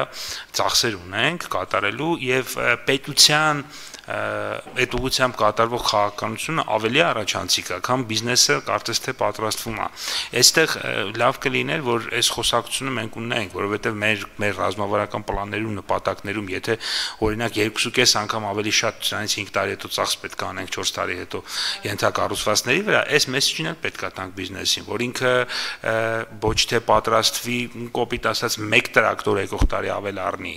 այլ 3 տրակտոր, որովհետև կարծես թե տենդենսը դրան է գնում։ Այս խոսակցության մասին էլ կարծում եմ պետքա ունենանք եւ պարոն Արնեզը ես կխնդրեմ մեր հաջորդ բոլոր նմանատիպ քննարկումներում, որովհետև բյուջեի կատարողական կլինի, տարածքային կառավարման նախարարին էլ անպայման հրավիրենք, որովհետև հիմնական չկատարման ուղղությունները ցավոք սրտի այդ ոլորտում են եւ ամենամեծ նաեւ այդ տնտես չկատարում տնտեսական աճի տուգանում այդ փոխկապվածությունը ենթադրում եմ հենց այդ այդտեղից է գալիս մեր բոլոր քննարկումներում անպայման ոլորտային այդ նախարարը անպայման լինի, որպեսզի հարցեր կան, որոնք որ հիմա կարող ենք հնչեցնել, բայց ուղղակիորեն պարոն Խաչատրյանի տիրույթում չէ, թերևս մեկ հարց այդ տիրույթից պարոն Խաչատրյան։ Մենք տեսանք, որ առաջին երամսյակը շատ վատ կատարողական էր։ Հետո լավացավ, ենթադրում եմ երրորդը էլ ավելի է լավանալու, չորրորդը շատ ավելի է լավանալու։ Հիմա չգիտեմ կկատարեք թե չէ, բայց տենդենսը։ Նայել եք ի՞նչն է պատճառը։ Օրինակ ասենք կարող է սխալ պլանավորումն է։ Ենթադրենք, չգիտեմ, նույն փողը դնում են 4 հավասար մասի են բաժանում, բնականաբար փետրվար ամսին չեն կարող անել ասֆալտ, այդ ասֆալտը պետք է անեն հուլիսին, օգոստոսին, դրա համար կատարողականը փոխվում է կամ եթե անգամ 4 հավասար մասի չի բաժանվում, այնուամենայնիվ սխալ գործակիցներով է դա բաժանվում։ Այն նման վարժություն ուսումնասիրություն քննարկում եղել է թե ոչ։ Այդ քննարկումները փոխվարչապետի համակարգմամբ են տեղի ունենում եւ կատարող նախարարությունների միջև կամ հետ։ Ես ներկայ եմ եղել որոշներին։ Մի ընդհանուր դատողություն եմ ուզում անել պարոն Պապյան։ Երբ որ մենք տեսնում ենք տող, որի կատարման ցուցանիշ ցածր է կիսամյակով, բայց նախարարը վստահեցնում ասում է միջև տարեվերջ կանեմ, դա նշանակում է, որ սխալ պլանավորման հետևանք է, այսինքն նա վստահ է, որ այդ աշխատանքը տարվա երկրորդ կիսամյակում այդ բաց մնացած մասը կլրացնի, բայց այնպես են թվերը գրված, որ դրա մի զգալի մաս պետք է առաջին կիսամյակի արդյունքներով արդեն իսկ կարված լիներ։ Հետևաբար ձեր նշած գործոնը իհարկե կա։ Ինչ չափով է այդ գործոնը ընդհանուր պատկերի համար որոշիչ, ես կդժվարանամ հիմա պատասխանել, բայց կարող եմ ասել մի բան, որ արդեն 2023 թվականի բյուջեն քննարկելուց մեր ոլորտային նախարարությունները շատ ավելի զուսպ են, այսինքն իրենք գիտեն արդեն որտեղ են նաև ստանձնել պարտավորություններ, որոնք որ գործընթացների տեսանկյունից, մասնավոր հատվածի կարողությունների տեսանկյունից խնդիրներ են առաջացնում։ եւ իրենք նաեւ ավելի իրատեսական վերագնահատումներ են անում իրենց համար, որ 2023-ի պլանավորման ժամանակ նման նկատված խնդիրները այլևս նույն կերպ չկրկնվեն։ Շնորհակալություն, ես վերջին հարցերի խումբը եկամուտների մասով Պեկին եւ ձեզ կուղեմ, կընտրեմ պատասխանեք։ Առաջինը ԵԱՏՄ-ից ստացվող մեր մասնաբաժինը բնականաբար տոկոսային արտահայտությամբ նույնն է մնացել, բայց իրավիճակի փոփոխության արդյունքում բացարձակ արժեքով էական կրճատվել է, բայց մեծ մասով ակնհայտ է, որ իրավիճակ պետք է լիներ այլ։ Արդյոք կա այդպիսի քննարկումներ, որ հետագայում միգուցե հնարավոր է որոշակի մասնաբաժինների փոփոխություն, որովհետև մեր տրամաբանության մեր մասով ինքը պետք է ավելանար, որովհետև մեր ներմուծում արտահանում ավելացել է, իրենց մասով չէ փոքրացել է։ Եվ հետեւաբար մենք այդտեղ դարձել ենք դուժող բացարձակ առումով մենք նշեցինք տարբեր գնահատականներով այ 35-ից 40 միլիարդ դրամ, ինչը հաստատ քիչ փող չէ եւ մեր պետական բյուջեի եկամուտների մասով, սա առաջինը։ Երկրորդը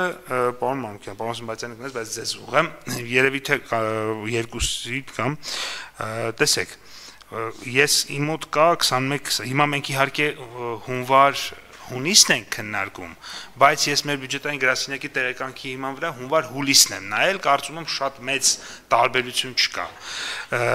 Ուրեմն հարկային եկամուտներ պետական турքերը, այդ պահով այդ ժամանակահատվածին 24.6%-ով աճել էր կամ 214.2 միլիարդ դրամով թվերը էական չի բովանդակության վրա ուրեմն կենտրոնանանք աճի հիմնական մասը ԱԱՀ-ներ ապահովել շաութահարկը եւ պետական турքը հիմա եթե նայում ենք որ շաութահարկը դա նախորդ տարվա գործնեությունից ստացվող եկամուտ է պետ турքը փաստացի 0.5 այսպես շատ sense խաղացող բան է, այս այն պահին կար, դրանից առաջ չկար, հիմա էլ չկա կամ կա ոչ այդ չափով, այսինքն ես սա էլ դրա միջից երբ որ հանում եմ, հա, ասենք ԱԱՀ-ն աճել էր 19 6%, ակցիզը 15.2%, շրջարկը 28.2%, այս երեքը իրար հետ 19.4%, 7 ամսվա կտրվածքով։ Հիմա երբ որ դիտարկում ենք տնտեսական աճի տեմպ եւ գնաճ, այսինքն հնայի անվանական աճը, եթե դիտարկենք եւ հարկերի անվանական աճը։ Այս 19.4%-ը ինչ է կարծում, բավարար ցուցանիշ է թե ոչ, որովհետև եթե նու սա իհարկե շատ սխալ է, բայց եթե դες բացարձակ երկուսն իրար միավորենք, հա, գնաճը եւ այսինքն հնայի անվանական աճը ավելի բարձր է, քան հարկերը, լավ, այսպես ձևակերպենք։ Արդյոք սա խնդրահարույց չէ եւ եթե կա ավելի մանրամասն վերլուծություն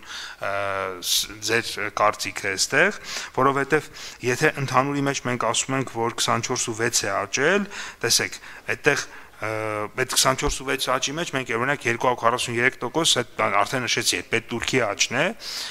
որը չկա, այսինքն հանում ենք մնում է տակը 19.4%։ Այս վերլուծությունը արել եք թե ոչ, այս վարժությունը արված է թե ոչ։ Ես մենք իհարկե նորից կգտնեմ, մենք հիմա